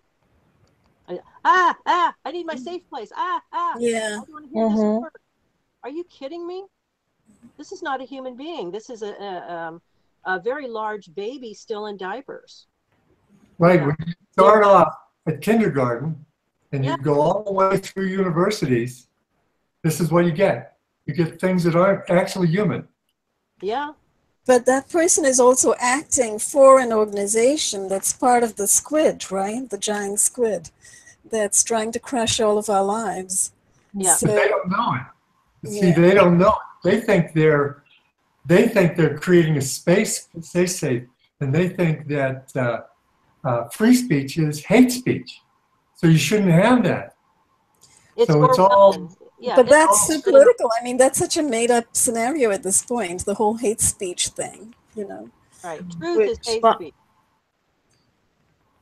Yeah. Right, I think, right. you know, in- This hate speech. Actually, political correctness is lying. Yes. You go Yes. and you, you look at your values and facts. Um, if you're politically correct, you're a liar. And if you keep lying, you're going to play into this system because they've got you lying for a purpose. Mhm. I mean, I hate to tell you, I hate to tell you that, but uh, you know, if you look, go ahead. It's you know basically it's a, it creates self delusion, and uh, this actually can be tracked back to communist China. You know, I was actually listening to Professor Darrell Hamamoto talk about this. You, you may know him, Professor Darrell Hamamoto, University of California, I think, at Davis. He talks extensively about how our university campuses have been totally taken over. He and how this isn't he a congressman or a senator? Didn't he? uh, is he? I don't think so. I think he's he's He's just a still with the professor. University of California, yeah. I've heard his Oh, stuff. Jordan Yeah, he- Peterson, is another one. Hmm Yeah. So it, it's it's all over America on all of our university campuses now. It's like a takeover, you know. And then look at Sweden. Sweden, and then the new Sweden, Canada. hmm You know, they hold up signs, I'd rather be raped than racist. Oh my God. Oh. And uh, that's, that's, that's so. I don't, I don't know, I haven't been to Europe for a while, but uh, it's, it's deluded. It goes over the top. It becomes Insanity. delusional. Yeah. Absolutely. Maybe they need a sign that says I'd I, I think, um, you know, than in free." all this, I'm So sorry, it's a pretty- Ash said Karen.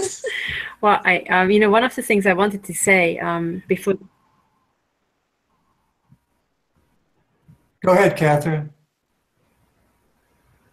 Dr. Oh, Katherine. uh, sorry, forgive me. Um, I think bef before I forget, I wanted to say, I wanted to say two things. You know, everything that Midge said about um, them putting these um, microwave towers in front of police um, stations. Actually, it flashed through my mind that in the UK they upgraded the the UK police force with a system called Tetra, if I understand it correctly. And I think Dr. Barry Trower talks about Tetra. But um, what the police officers noticed is that um, they experienced personality changes.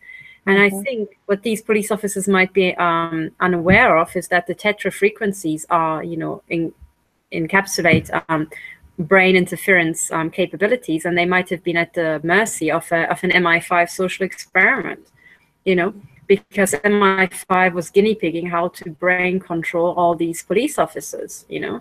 So that's certainly going on, and putting cell towers right next to police stations, I think, um, you know, would fit into that.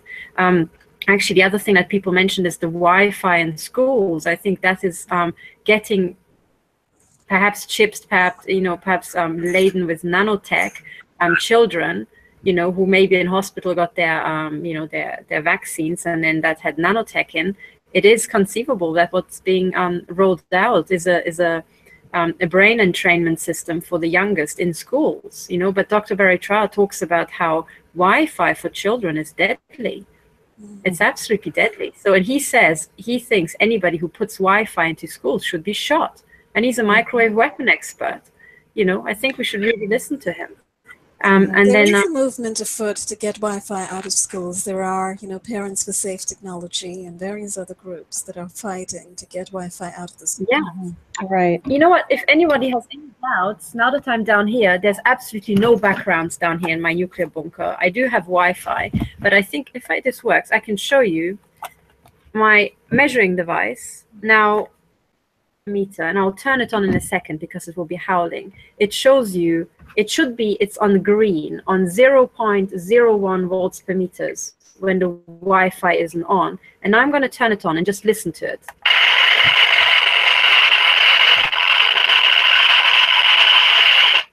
That is the Wi-Fi. The, the amount of radiation, you can maybe see it's on maximum, that's six volts per meter as a point as opposed to 0.01. This is a factor of 600. Now, this level, the deep red already means it's not not just not healthy, it's so outrageously high. It's you know insane.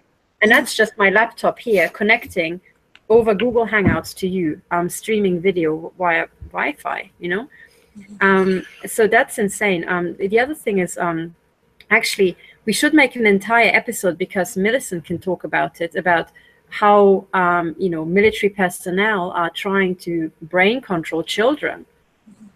You know, um, with big programs and many things, right?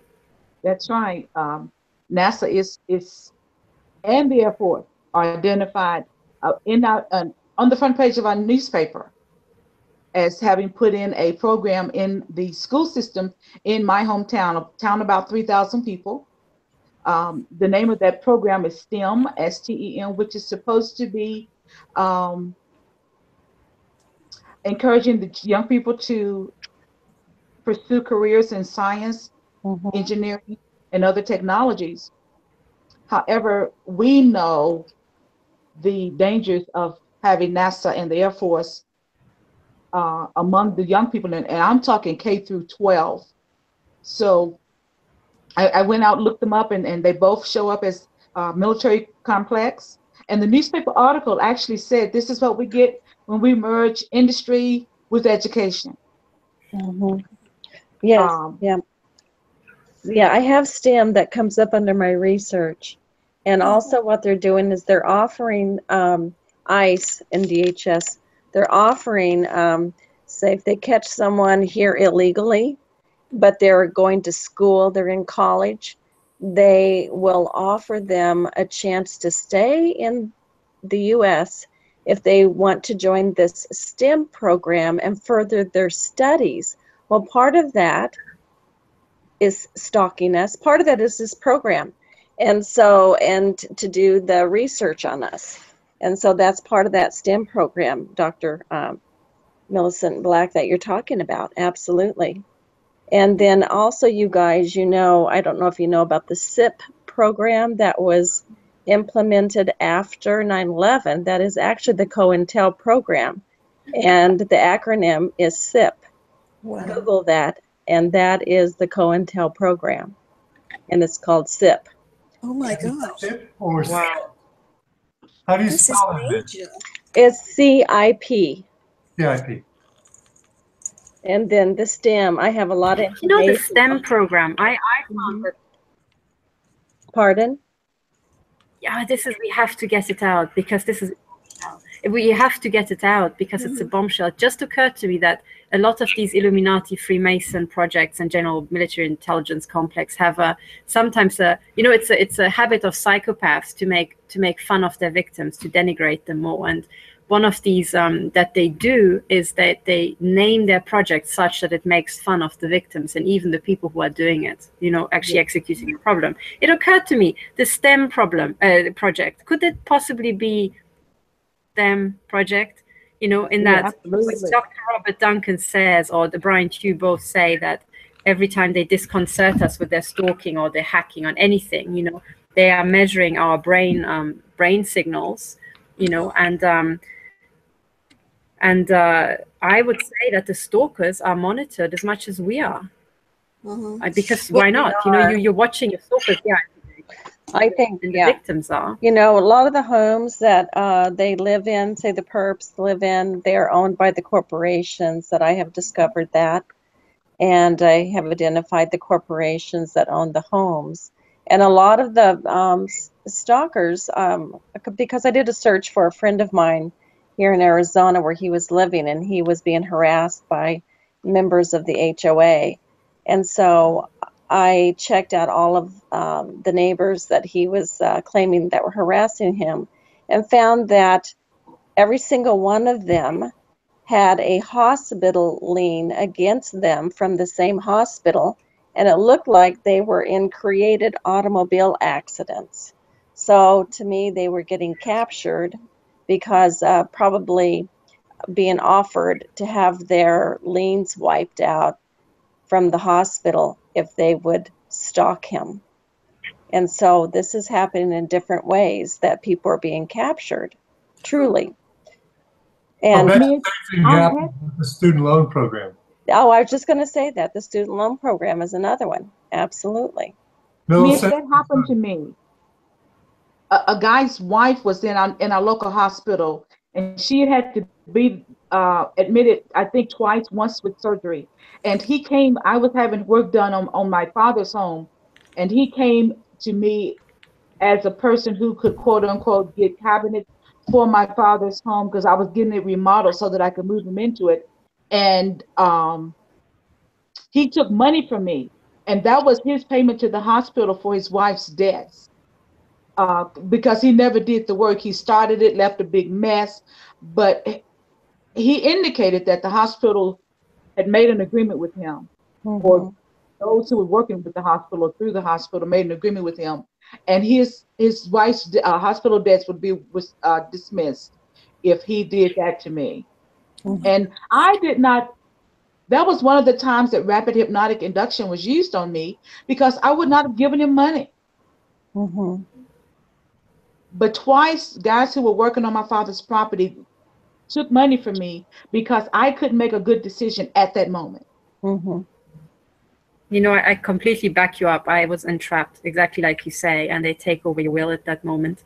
I can confirm that they they can do that. I I they've done it to me as well, entrapped me exactly as you say. And in that moment, you don't have control over your own will. You don't feel controlled. What they do is that they prompt your brain or they shut down the the not critical thinking faculty, but they, they shut down the ability to say no.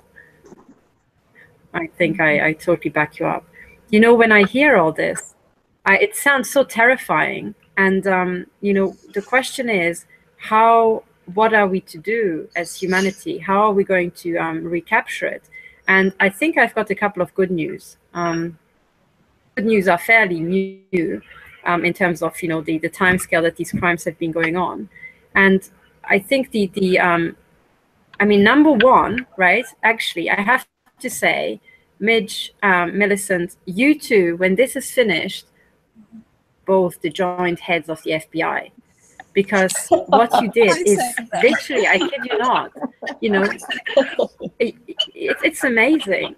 You know, it is like, it's like you are doing a, a major investigation into the crimes of the century, flying solo, putting all together the evidence. I mean, this would be like, you know, a department of 50 people and um, it's it's amazing. And um, one of the things that I guess um, enabled you to do that, in, on top of your intelligence, insight, and integrity, was also the um, the um, you know the the search technology that we have today. You know these great large databases, and that's what I was talking about earlier. Is that these criminals do not realize how much power we have now through the processing power Mhm. and the internet that you can just search these databases and find out this information really quickly so you can you can retrieve information faster than criminals can commit crimes which Mhm. ultimately will you know uh, switch over whereby we can track them down much quicker so that's good news number one Right. um, good news number two is that um, all of this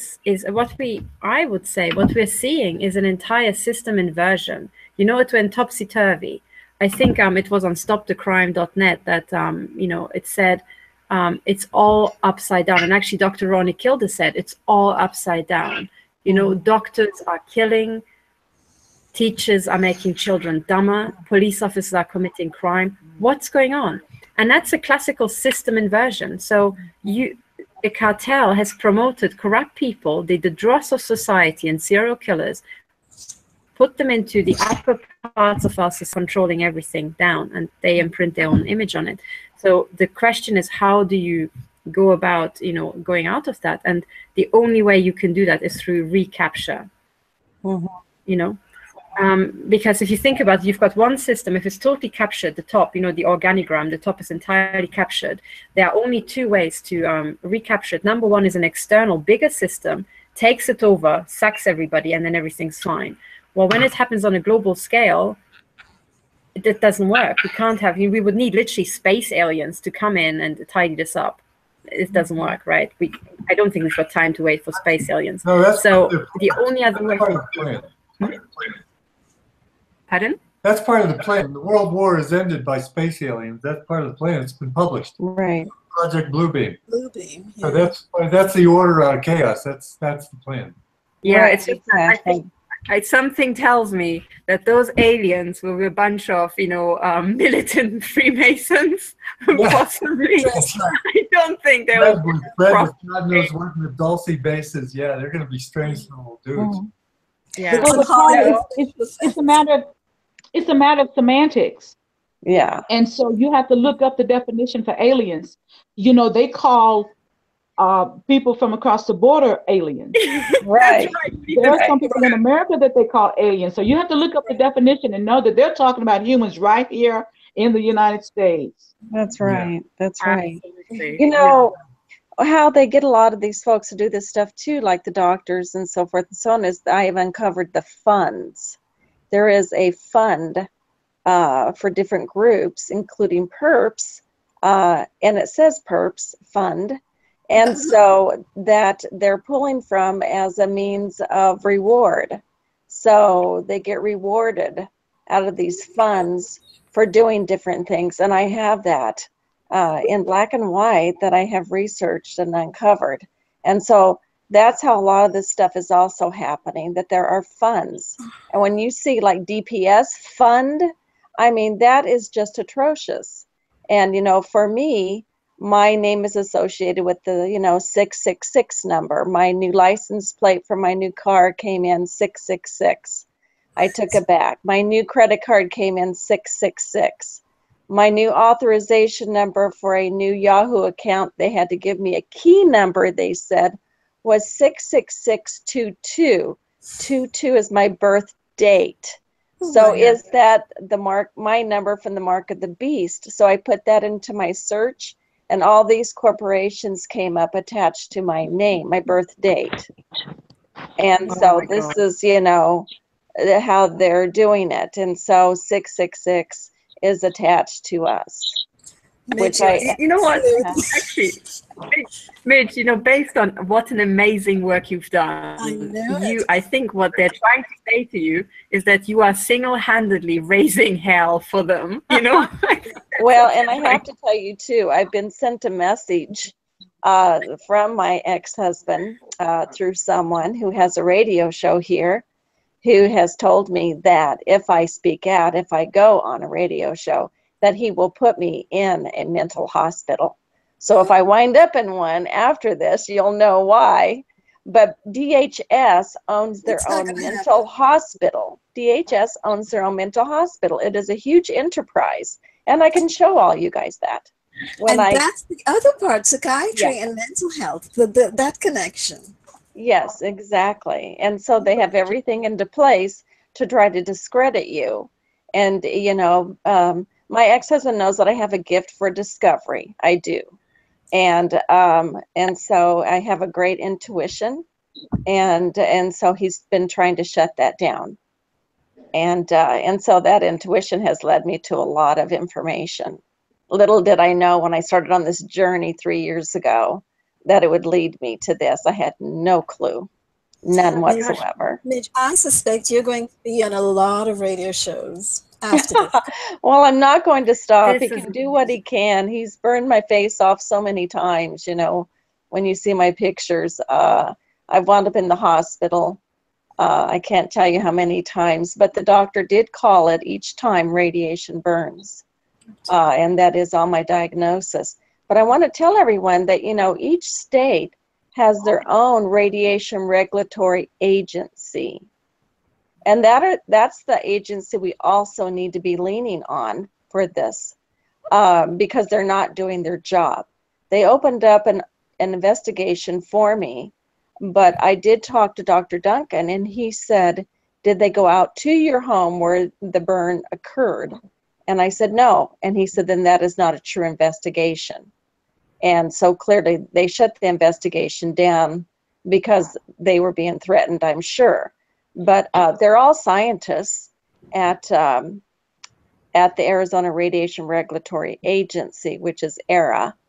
Uh, but they they've all been infiltrated by these corporations. Er- Every single business entity has been infiltrated. That's for sure. this is now where we um I, I think you know um where the uh where we really have to um I- wanted to say that the following thing because this is this is the, the key and this is the last and the biggest bit of good news I have, I guess, because there seems to be a lot of money going into paying all these corporations. You know, I mean, they they seem to be making money out of us, but someone else seems to be, um, you know, providing some the starting funds. Um, and I guess if I if I had to guess, this money comes from general fraudulent money printing that the banks are doing. You know, and as I said, you know, once you have this this super cartel identified, this is now not a conspiracy theory. This is a a systems analysis fact, but um, discovered by these mathematicians. There is this cartel. They call it the super entity. It owns 40% of all the global companies. Mhm. And it stands to reason that it will have bought the intelligence agencies a long time ago. And open brackets, it also stands to reason that it owns organized crime because organized crime is just like any other business, but it does, doesn't pay tax. So make at least 20 to, you know, 25% more profit on it. Um, so we have the super entity and um, it, it prints all the money because it's related to the banks. But also we have to remember that I think Catherine Austin Fitts said that over the last, um, since the mid 90s, I think 40 trillion went missing. So this is 40 trillion that has been conjured into existence and then went missing from the US budgets alone. And I think a lot of that money is ended up paying for this sort of stuff because uh, the cartel siphoned off this amount of money because it wanted to pull off something really, really big. And I think the really, really big thing they wanted to pull off is the build up to World War Three. Mhm. You know, and that's why we see and and if you look at it, the template seems to be one to one identical to the First and Second World War. It's like a copy and paste job. You know, we now have the death camps. Mhm. We we are all not sitting in one place called Auschwitz. We all have our individual Auschwitz, you know, at home. Um, many other things are, you know, what I identified as the Intelligenzaktion. The all the intellectuals are blacklisted and to be killed off. Um, also, you know, remember the First World War kicked off with an assassination. There were assassinations of Russian ambassadors. This entire thing is set up to be a war, uh, you know, on the surface, a war against Russia, and then maybe against China, although that would be suicidal. But you know, some to kick off some, something big, it would be a war against Russia. I, in actual fact, the intelligence agency, the KGB, is a branch office of the same entity, so it's nonsense. It's the cartel putting on a, a sock puppet show. But, and this is now the best news ever, the cartel is bankrupt. The cartel is bankrupt. Um, and that's because, and um, Karen Hudes talks about this, the cartel is bankrupt because it issued um, um, something called um, the Treaty of Versailles bonds. To, I think royalty, um, it got all the gold from royalty and then you know states and issued Treaty of Versailles bonds in return. And then people forgot about the Treaty of Versailles bonds. However, they have been accruing interest, and the the value on the Treaty Versailles bonds. Um, so, in other words, what the the banking cartel owns the government and royalty is bigger than nation state debt, so national debt. So de facto, it means that the cartel is bankrupt. Um, and, and whoever calls in these Treaty of Versailles bonds will wind down the cartel. Now, of course, this is the, the, the pay, this is now you know a news from finance, and Karen Hudes talks about this. But then um, the the question is, how do you enforce this? And um, this is now the second bit of really important information. Um, and it hangs together with I was banging on about the the prodigies dying, and I, I think every single one of them worked on something behind the scenes that was hugely important, and they died. Um, one of the people to die was John Nash. Now I can't prove this, but I've got the gut feeling that the reason why he died is because of a piece of work he did um, for the I think it's the National War College. Um, and what this is is a is a huge game theory um, simulation um, that works out how coalitions form. And it, it, it what it showed is that the banking cartel uh, is to be wound down. It that's what it showed. So if you if you listen to Karen Hudes, she she bangs on about um, this. Um, uh, she calls it the power transition model. And what she gives in documentation is, is far too low tech for what she actually talks about. So it shows me as a you know as a physicist that there's somewhere a big kick-ass simulation under the bonnet and the people at the World Bank use maybe a, an interface, you know, some low tech thing, but there's actually big brains powering this thing. Now, the reason why I'm saying I'm suspecting that John Nash was behind this is because everything I understand from the power transition model was exactly what he not just worked on, what he developed. Okay. And then this guy dies, and he died in this car accident. You know, um, I think a taxi. His taxi was hit. He and his wife weren't um, weren't wearing seat belts, and you know they flew out of the car. The driver had minor injuries and so on, and they were hit by another car. Now, being hit on the corner by another car is a classic intelligence agency um, job because all you have to do is ensure that the seat belts are not working, and as soon as um, you hit a car, and especially if it's head-on collision so you've got in physics center of mass you know you maximize the energy you put into the collision. So at very low speeds you can eject somebody out make them you know fly out of the car. Especially if you hit the car on the edge you um, add in a rotation so these people fly through the window. Um, and then they're injured and then you can finish them off in hospital you know or at the scene. So it's a it's a classic intelligence agency job. And the key is that Neither he nor his wife were wearing their seatbelts. That's what I heard. Now, John Nash is was a generationally defining genius. He will know basic physics, and he will know that after about 20 miles per hour, you can't, you don't have enough physical force to hold yourself.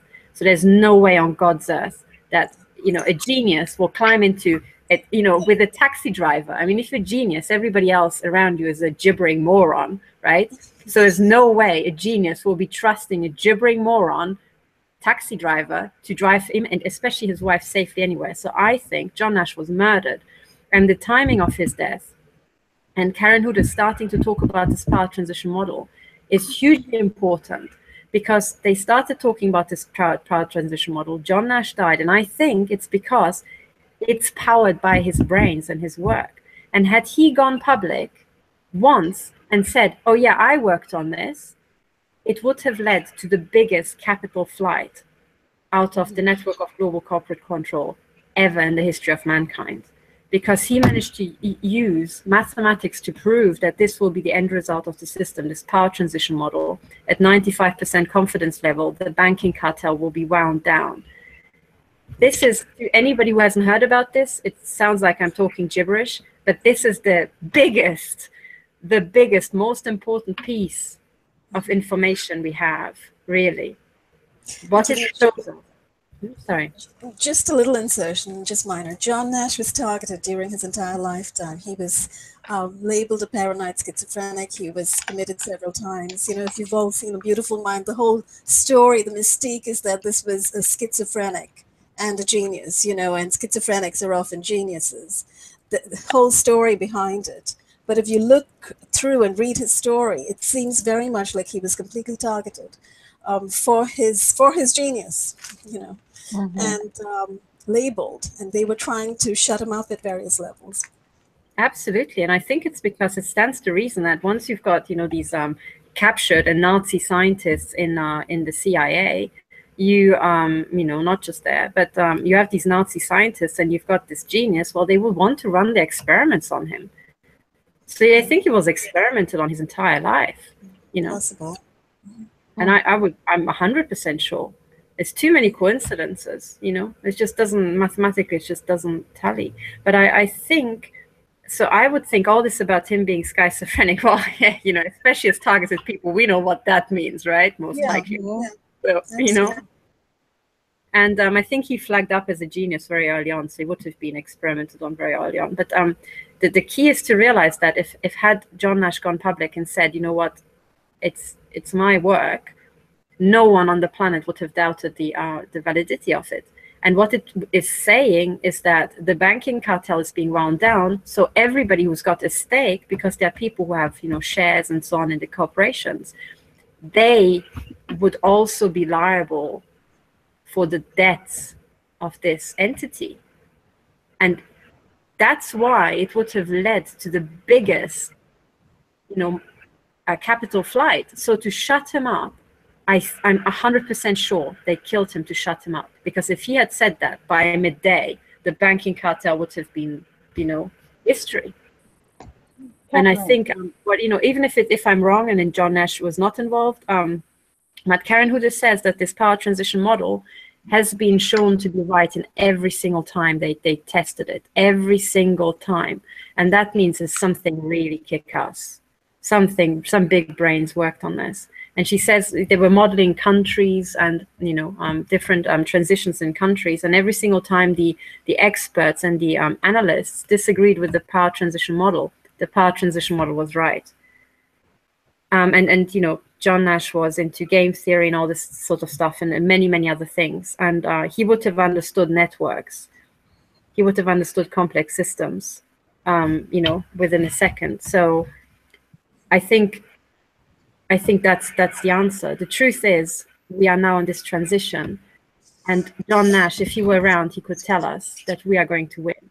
Karen, Karen, We are going. To, Catherine, how would that look in the real world? How would that play out if uh, all the banksters all of a sudden became deeply indebted?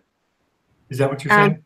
yeah, and and I think this is de facto already the case. Now, the way it would look is that we would see um, a, a large number of assassinations um, to do in banking, and the large number of assassinations would be most likely people who have access to the databases. So it would be the um, the CTOs, the technical, um, you know, um, um, directors of uh, of the banks.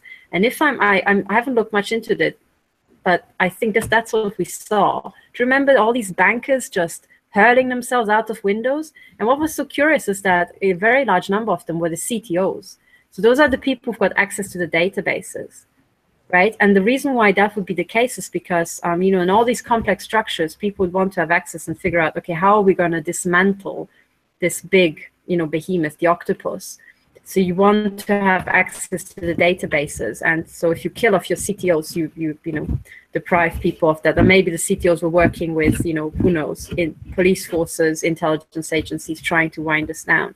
So I would say that's another bit of um, you know circumstantial evidence because it was just so curious. You know, you had these bankers who would just give themselves a blow to the back of the head, then would shoot themselves into the back of the head if they were left-handed on the right-hand side, and after you know the, the bullet left a dent in the floor when it ricocheted, they would grab themselves and hurl, hurl themselves out of the window. You know, so it was those sort of banker deaths. And we saw about i think the last count was 80 or it was it just kept going up and up and up you know? And it's it was the the positions these people ha- held that is key. Um, and i think that's indication number one. Um, you would also see um, uh, the, the, the real question paul is um, this is the this is like circumstantial evidence that this might be the case but now the question for humanity is um, what it will look in the, the entirety of the transition and I think this is why it's such a really bad thing that John Nash and, and people who could have replaced him, like Aaron Swartz, um, died, were died. Um, it's because we need those geniuses to ensure system stability. We need people who can understand complex systems and stabilize it because it is the biggest rejiggling in the history of mankind. And it will lead to huge shear forces in the system, huge nonlinearities. As in, for the elites, murder the elites will start killing each other because it's the biggest you know i mean killing little people like us has got no benefit but killing each other will be the the biggest payoff ever because um you can make more money than ever in the history of mankind doing that so the incentives to for billionaires to and, and trillionaires to kill each other is, is like is super big. So you would expect that a lot of them would be fleeing to um, remote locations and into underground caverns. Didn't didn't we see something like that? You know, about rich people disappearing and not being found for a surprisingly long time, well, that's what you would see. Um, and many other things. But you would also see uh, just an onset of insanity, and you would also see the cartel pulling off the last thing it has up its sleeve, which is to stage World War III to paper over all of this. As in World War III, you could kill everybody who knows about this, you could destroy the databases, you could bomb the warehouses where the databases are stored uh, you know, you could do, introduce the big chaos and paper over it. And I think we see exactly that. We see the build up to World War III. And this is why I'm saying what we guys are doing right now is we are avoiding World War III because the direct energy weapons are owned by the cartel, as, as Midge has mapped out in detail. You know, they own the companies. Um, And I think this directed energy weapon system is being used to to try to kill off absolutely everybody who tries to move against the cartel. That's how they are trying to destabilize it. But I just want to say to them that by now, I mean, I can't be the only person who's figured this out from listening to Karen Karen Hudes, you know. So I think pretty much the billionaires and trillionaires who've got access to much more detailed information than I have have figured this out. So um, it will not it will not pay for them to stage World War III because none of us will survive this. Number one, and if they wanted to pull off World War III, the incentives would be even even higher for the you know trillionaires and billionaires around them to kill them. You know, because they wouldn't even do a good deed.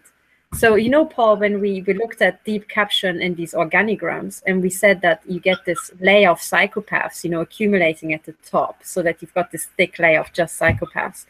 Well, that's the key. So, in a sense, the elites have to support us ladies if they want to survive, as ironic as that sounds, because we are trying to stop this. We could have a civilized solution, court cases, we shut this down in a civilized manner recycle the system. No one dies and most people can keep their wealth pretty much. You know but we get to a more stable system. Um, they wouldn't have as much control but they would have a lot of wealth. Um, if they don't do that what will happen is that we have the top psychopaths and they are surrounded by a very thick layer of, of murdering serial killing psychopaths who have the biggest incentive in the history of mankind to kill mr big. Mm-hmm. I'm just saying it's not a comfortable position to be in, you know? Yeah, it's a Game of Thrones. You know, you always know when it comes down to just the snakes, the snakes will kill one another. Mm-hmm. Yeah. It is interesting. Um, mm-hmm. I'm, not, I'm, not, sure how much credibility I give Karen Hudes. I know her husband works for, uh, he's designed uh, financial systems for the elite. So I don't know. And she she also pointed to at one time, I don't know whether she still does this, Karen, that we're controlled by uh, Homo capensis. Oh yes, the cone heads. You know what? I someone raised it, and I just said we're not controlled. It was Ed, Ed Spencer who said, "Oh yeah, we're controlled by cone heads." No, we're controlled by dickheads. You know, maybe that's, I think that's perfect. would call them. You know, works for me. Yeah, them cone heads. Yeah. no, I think she also no. said that. She also said she corrected herself in one interview, and she said a disinformation agent got to her, and she was quite honest, and she said, you know, I, a disinfo agent really brainwashed me into it and um, and I, I can totally see how that happens because we have been tricked and you know um, led, led astray by disinformation agents. Um, but the other thing is also that shows you how important she is. Um, that in August she was um, hit by directed energy weapons, and she was hit simultaneously with uh, I think a lady who took care of um, her and and uh, a man who was working with all simultaneously hit by by DEWs and they all had stroke-like symptoms. And you can see that you know you can see Karen before the attack and after the attack because she has these weekly or you know um, shows every two weeks and you can see the effect. But she says her doctor said it was not a stroke. They couldn't find it. So and she identified General Dunford as the person who did that um, or was responsible for this. And she keeps talking about it, you know. And she says General Dunford is an agent of the banking cartel, and he did that. So she's extremely public about it. And the fact that they did that, I think, shows that um, Karen is really the um, the the uh, the stumbling block for them. But it's it helps to know that Karen has the support, as she says, of Russia and Japan. And if you want to understand why Russia and Japan would be backing Karen, is because World War Three would be trying to draw in Russia. You know, we've got this like um, what's it called the the Star Wars this defense system. You know, this missile defense system, and and Putin was making the point that okay, you've got these missiles, but within minutes you can um, put um, nuclear warheads on them, and then you can rain down missiles on Russia. We can't let that happen. You know, but this system isn't in place. Um, so Russia has an interest in stabilizing the system. Japan has an interest in stabilizing the system because as soon as the U.S. is not, um, you know, fulfilling its duty to protect Japan against, for example, China, they can be just taken over as a business plan. Mm-hmm. Um, so Karen Hudes is right now our only chance to avoid World War III because she's the person who has the full backing of, of Japan and, and Russia. And she is, as I understand it, the signatory to the US shares in the global debt facility, which is this big, huge stash of gold and wealth and assets. I think originally owned by the Vatican, and they now don't own it anymore. Legally, they are not um, not entitled to it. So that's the truth. You have her on, wouldn't it, to ask her to come on the forum one time and uh, explain this, because this is uh, totally new to me, and it's good news. It's really It, good. it, it is good news. It, but it took me, you know what? It took me. Uh, the reason why I got into it is because I studied complex human systems, and finance was one of the things I looked into. When I first came across um, Karen's work, I thought that just sounds so crazy. And then she produced all these um, documents, and she said, "No, I can prove all this. These trusts exist." And when you look at the trusts, they all have code names like, you know, White Wonder Boy, and you know, Holy Father in Heaven, and you know, the most amazing what's it. And I thought that sounds like a bunch of psychopaths. You know, it's what the English would call batshit crazy. And I thought, hang on, it must be true. It must be true because he's talking about the top of the pyramid, and they're all freaking, you know, messed in the head. So yeah, that's what they would sound like, you know, and that's what they really sound like on paper, you know. Um, but please have her on because I think the shit's real, you know. This is real, and she's a TI, and and frankly, uh, well, what she's working on is she's saying we have to replace our paper currencies, and that's this is how I'm tying it to what you know. I, sorry, I launched it. It's so important. Midge was saying that you know all these corporations and they have all this money and these extra pools of money to um, pay the perps. And Karen says we have to switch off this money printing, and she's working on um, the the global currency reset to put all our currencies onto an actual gold backing. And as I understand it, the plan is to give actual gold, um, seal it inside the currency, so it will feel like paper, but it will have in term in a flexible plastic encasing. It will actually have gold dust of the value of the currency Ah, and you could do spectroscopy or whatever you do on the on the notes so every person could check that actually the amount of gold that's on the papers is in it you're holding it in your hands you know It's not digital. yeah. Okay.